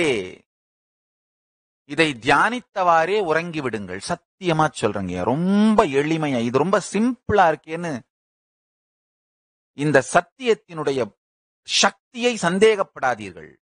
சின்ன சாவிதான் பெரிய கதவை திறந்துரும். ஜஸ்ட் ஒரு ரெண்டு மூணு நாள் முயற்சி பண்ணி பாருங்க.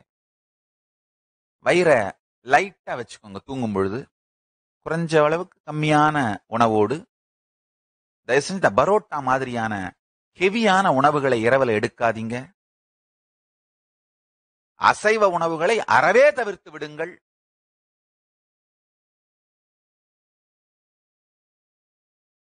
லைட்டான ஃபுட்டு. முடிஞ்சா ஒரு கிலோமீட்டர் வா நடை. தினந்தோறும் உள்ளூர் கோவில்ல அர்த்தஜாம பூஜைக்கு போயிட்டு வர்றதுன்ற பழக்கம் வச்சுக்கோங்கய்யா. கோயில் இல்லாத ஊர்ல குடியிருக்காதீங்க.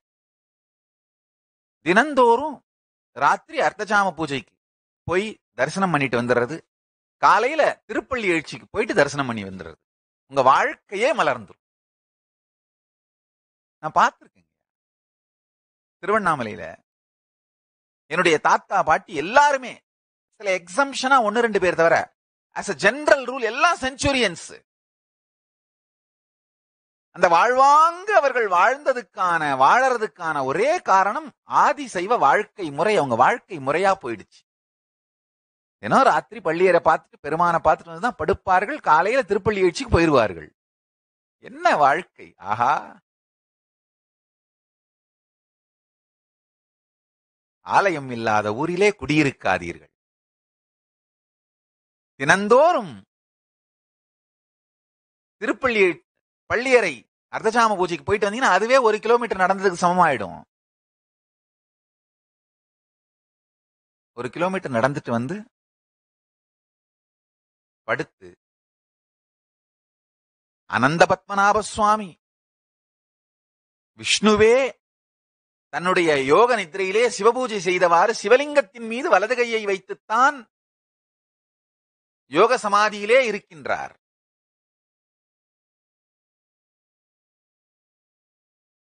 படுக்கையிலே படுத்து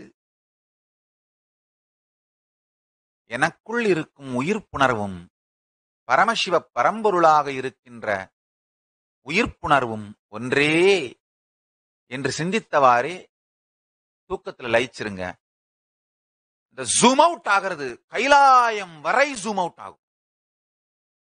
ஜூம் அவுட் ஆனா கைலாசம் ஸ்பேஸ்ல பரமசிவமாக இருக்கின்ற இருப்புத்தான் ஜூமின் ஆகும்போது உங்க ஸ்பேஸுக்குள்ள நீங்களாக இருக்கிறீர்கள்.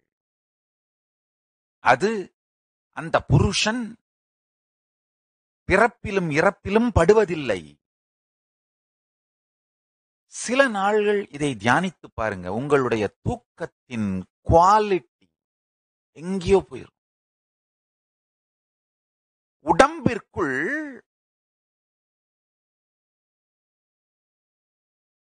ஒவ்வொரு ராத்திரியும் அமிர்தம் ஊறினால் இளமையாகிட்டே போவீங்க. விஷம் நச்சு பொருள் ஊறினால் முதுமையை நோக்கி போய்கிட்டே இருப்பீங்க. நீங்க ராத்திரி உங்களுடைய உணர்வு எந்த மன அமைப்பிலே சிக்கிக் கொண்டிருக்கிறது அப்படிங்கிறத வச்சுதான் உடம்புக்குள்ள நச்சு பொருள் உருவாகுமா? அல்லது அமிர்தம் உருவாகுமான்னு முடிவாகும்.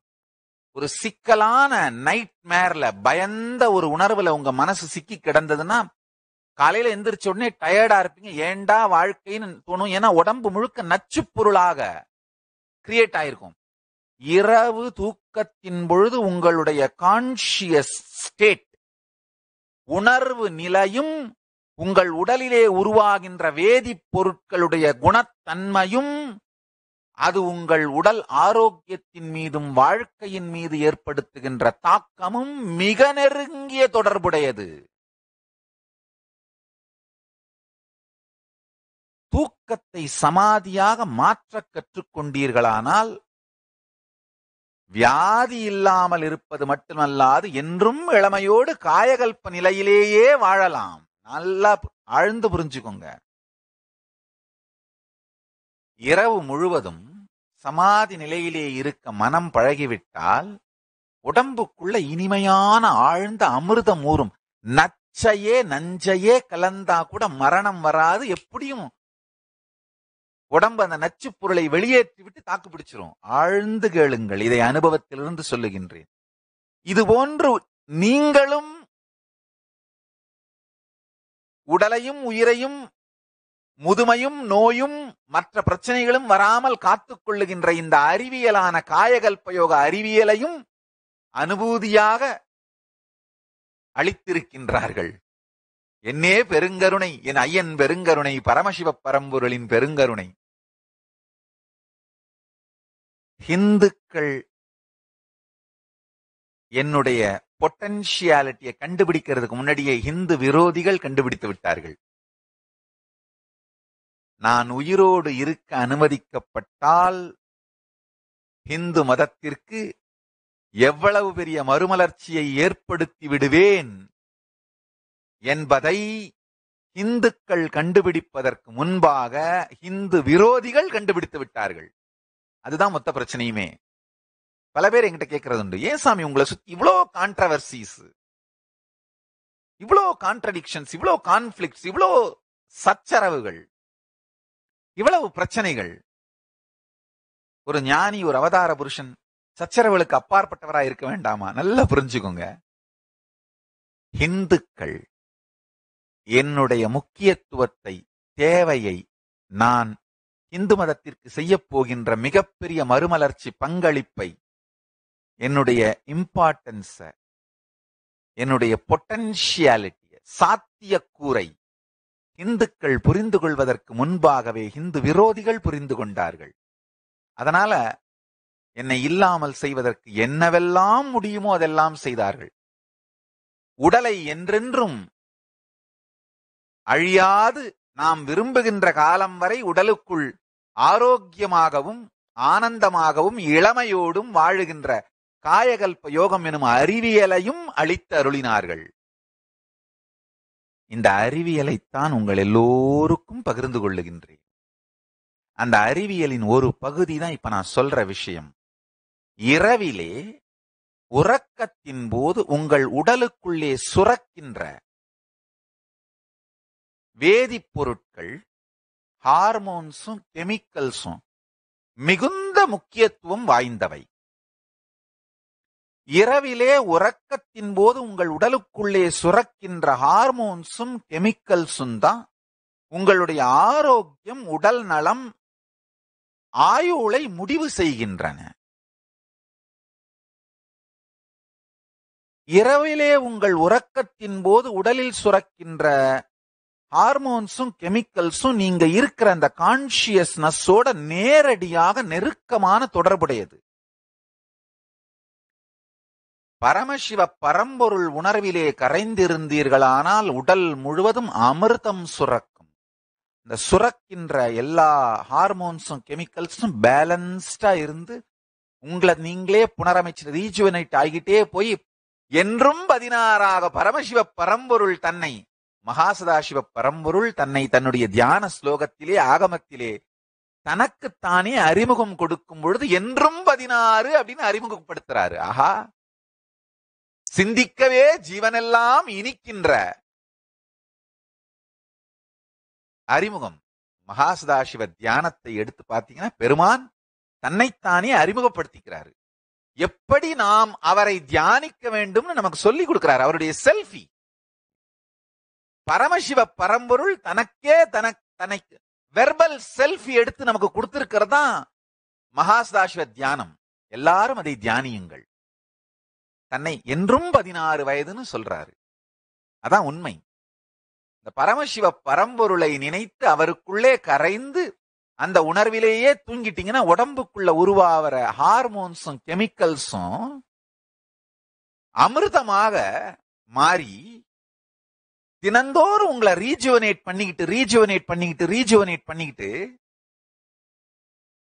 முதுமை வராது வியாதிகள் வராது ஜீவ சமாதியிலே சொரூப சமாதியிலே உங்கள் வாழ்க்கையை நிலைபெறச் செய்துவிடும். காயகல்ப யோகத்தினுடைய ஒரு முக்கியமான ரகசியத்தை உங்களுக்கு பகிர்ந்து கொள்ளுகின்றேன். இரவு உறக்கத்தின் பொழுது உடல்ல நடக்கிற வேதி பரிமாணங்கள் கெமிக்கல் ப்ராசஸஸ் ஹார்மோன்ஸ் கெமிக்கல்ஸ் இது எல்லாத்தையும் ஆல்கமியா மாத்துற இது கிரகஸ்தர்கள் சந்நியாசிகள் கைலாசவாசிகள் வீட்டில் இருக்கிறவங்க எல்லாரும் பிராக்டிஸ் பண்ணலாம். ஆழ்ந்து புரிந்து கொள்ளுங்கள். இந்த ஒரே ஒரு சத்தியத்தை உள்வாங்குங்க இந்த சத் சங்கத்தை ரெண்டு மூணு தரம் பாருங்க. சாரம் என்னன்னா உங்களுக்குள் இருக்கின்ற இருப்புணர்வும் பிரபஞ்ச பெருவெளியின் இருப்புணர்வும் ஆன கைலாய பெருவெளியின் உயிர்ப்பொருளான பரமசிவத்தின் இருப்புணர்வும் ஒன்றே. தினந்தோறும் இரவு உறங்குவதற்கு முன்பாக வயிறை லைட்டா வச்சுட்டு உணவு கம்மியா இருந்து ஒரு கிலோமீட்டர் நடந்து கடுக்கா பொடி எடுத்துட்டு படுக்கையில படுத்து இந்த ஒரு சிந்தனையை உணர்வுக்குள்ளே சிந்தித்தவாறேயே உறங்கி விடுங்கள். அப்ப என்ன ஆகும்னா ராத்திரி தூக்கம் முழு நேரமும் சிக்கலான கனவுகளில் சிக்காமல் சுகம் துக்கம் இந்த ரெண்டு விதமான கனவுகளிலும் சிக்காமல் உங்க உடம்புக்குள்ள நடக்கிற ஹார்மோன்ஸ் கெமிக்கல்ஸோட ப்ராசஸ் அமிர்தமயமாக மாறி சுகமான உணர்விற்குள் பரமசிவ சுகப்பெருவெளியில் இருக்க துவங்கி உடலும் உயிரும் மனமும் இயைந்து இணங்குகிற இன்டெகிரிட்டி இயைந்து இணங்குகிற இன்டெகிரிட்டி நல்லா புரிஞ்சுக்கோங்க. தமிழ்ல மட்டும்தான் சத்தியத்துக்கு மூணு வார்த்தை உண்டு. உண்மை மெய்மை வாய்மை. சத்தியம்னு ஒண்ண உடலாலே கடைபிடிப்பது உண்மை. நம்முடைய உயிராலே கடைபிடிப்பது மெய்மை. வார்த்தையாலே கடைபிடிப்பது வாய்மை. நம்முடைய ஆளுமை தன்மையாலே கடைபிடிப்பது ஆண்மை. சத்தியம் உங்க எல் உங்களுடைய வாழ்க்கையின் எல்லா பாகத்துக்குள்ளும் கரைந்து ஒரு யுனிக்கான இன்டெகிரிட்டி உருவாக ஆரம்பிச்சிரும். அது பெரிய பலமாக மாறிவிடும். உயிர் பலம்.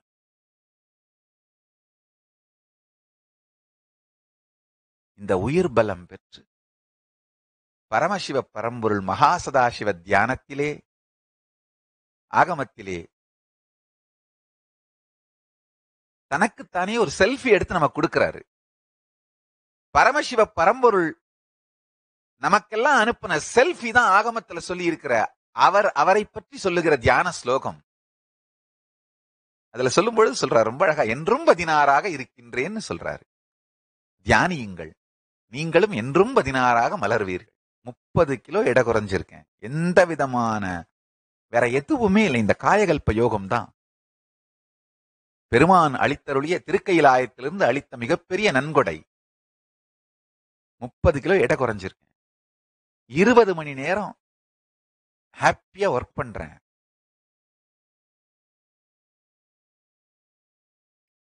கம்ப்ளீட்டா ஹீல் ஆயிடுச்சு உடம்பு. சுத்தமா ஆரோக்கியம் ஆயிடுச்சு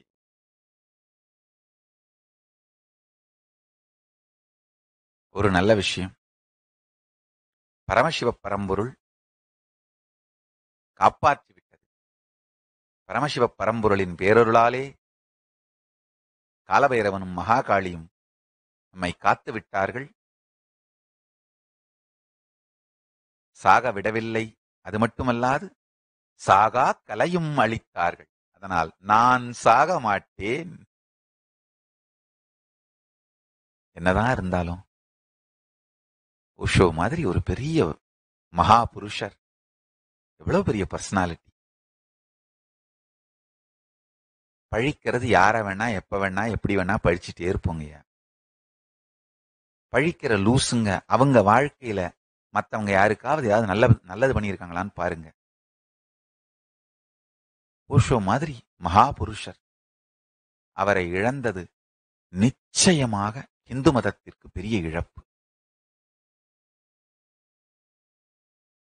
தத்துவார்த்த ரீதியாக மாறுபடுவது அப்படிங்கிற காரணத்துக்காக ஒருவரை சாகடிப்பதெல்லாம் தப்புங்க.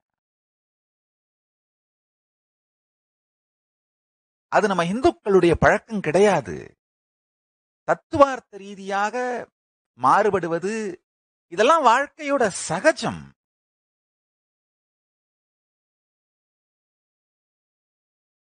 தத்துவார்த்த ரீதியாக அவருக்கும் எனக்கும் பல்வேறு மாறுபாடுகள் இருந்தாலும் அவர் உலகத்திற்கு அளித்த பங்களிப்பை மறுக்க முடியாது.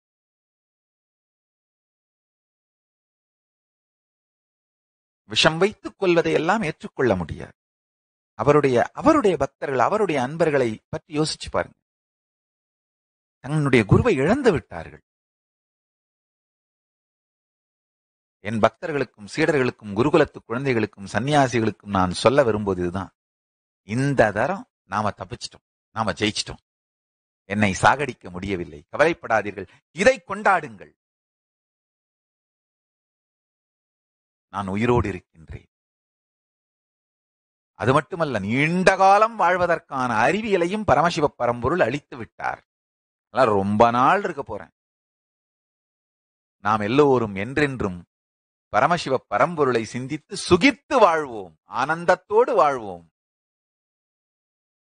ஆல்போல் தழைத்து அருகுபோல் வேரூன்றி மூங்கில் போல் சுற்றம் சூழ பெருமான் புகழ்பாடி வாழ்வோம். நாம் எல்லோரும் நித்யானந்தத்தில் நிறைந்து நித்யானந்தத்தில் மலர்ந்து நித்யானந்தத்தில் கரைந்து நித்யானந்தமாகிட ஆசீர்வதித்து முடிக்கின்றேன். நன்றி. ஆனந்தமாக இருங்கள்.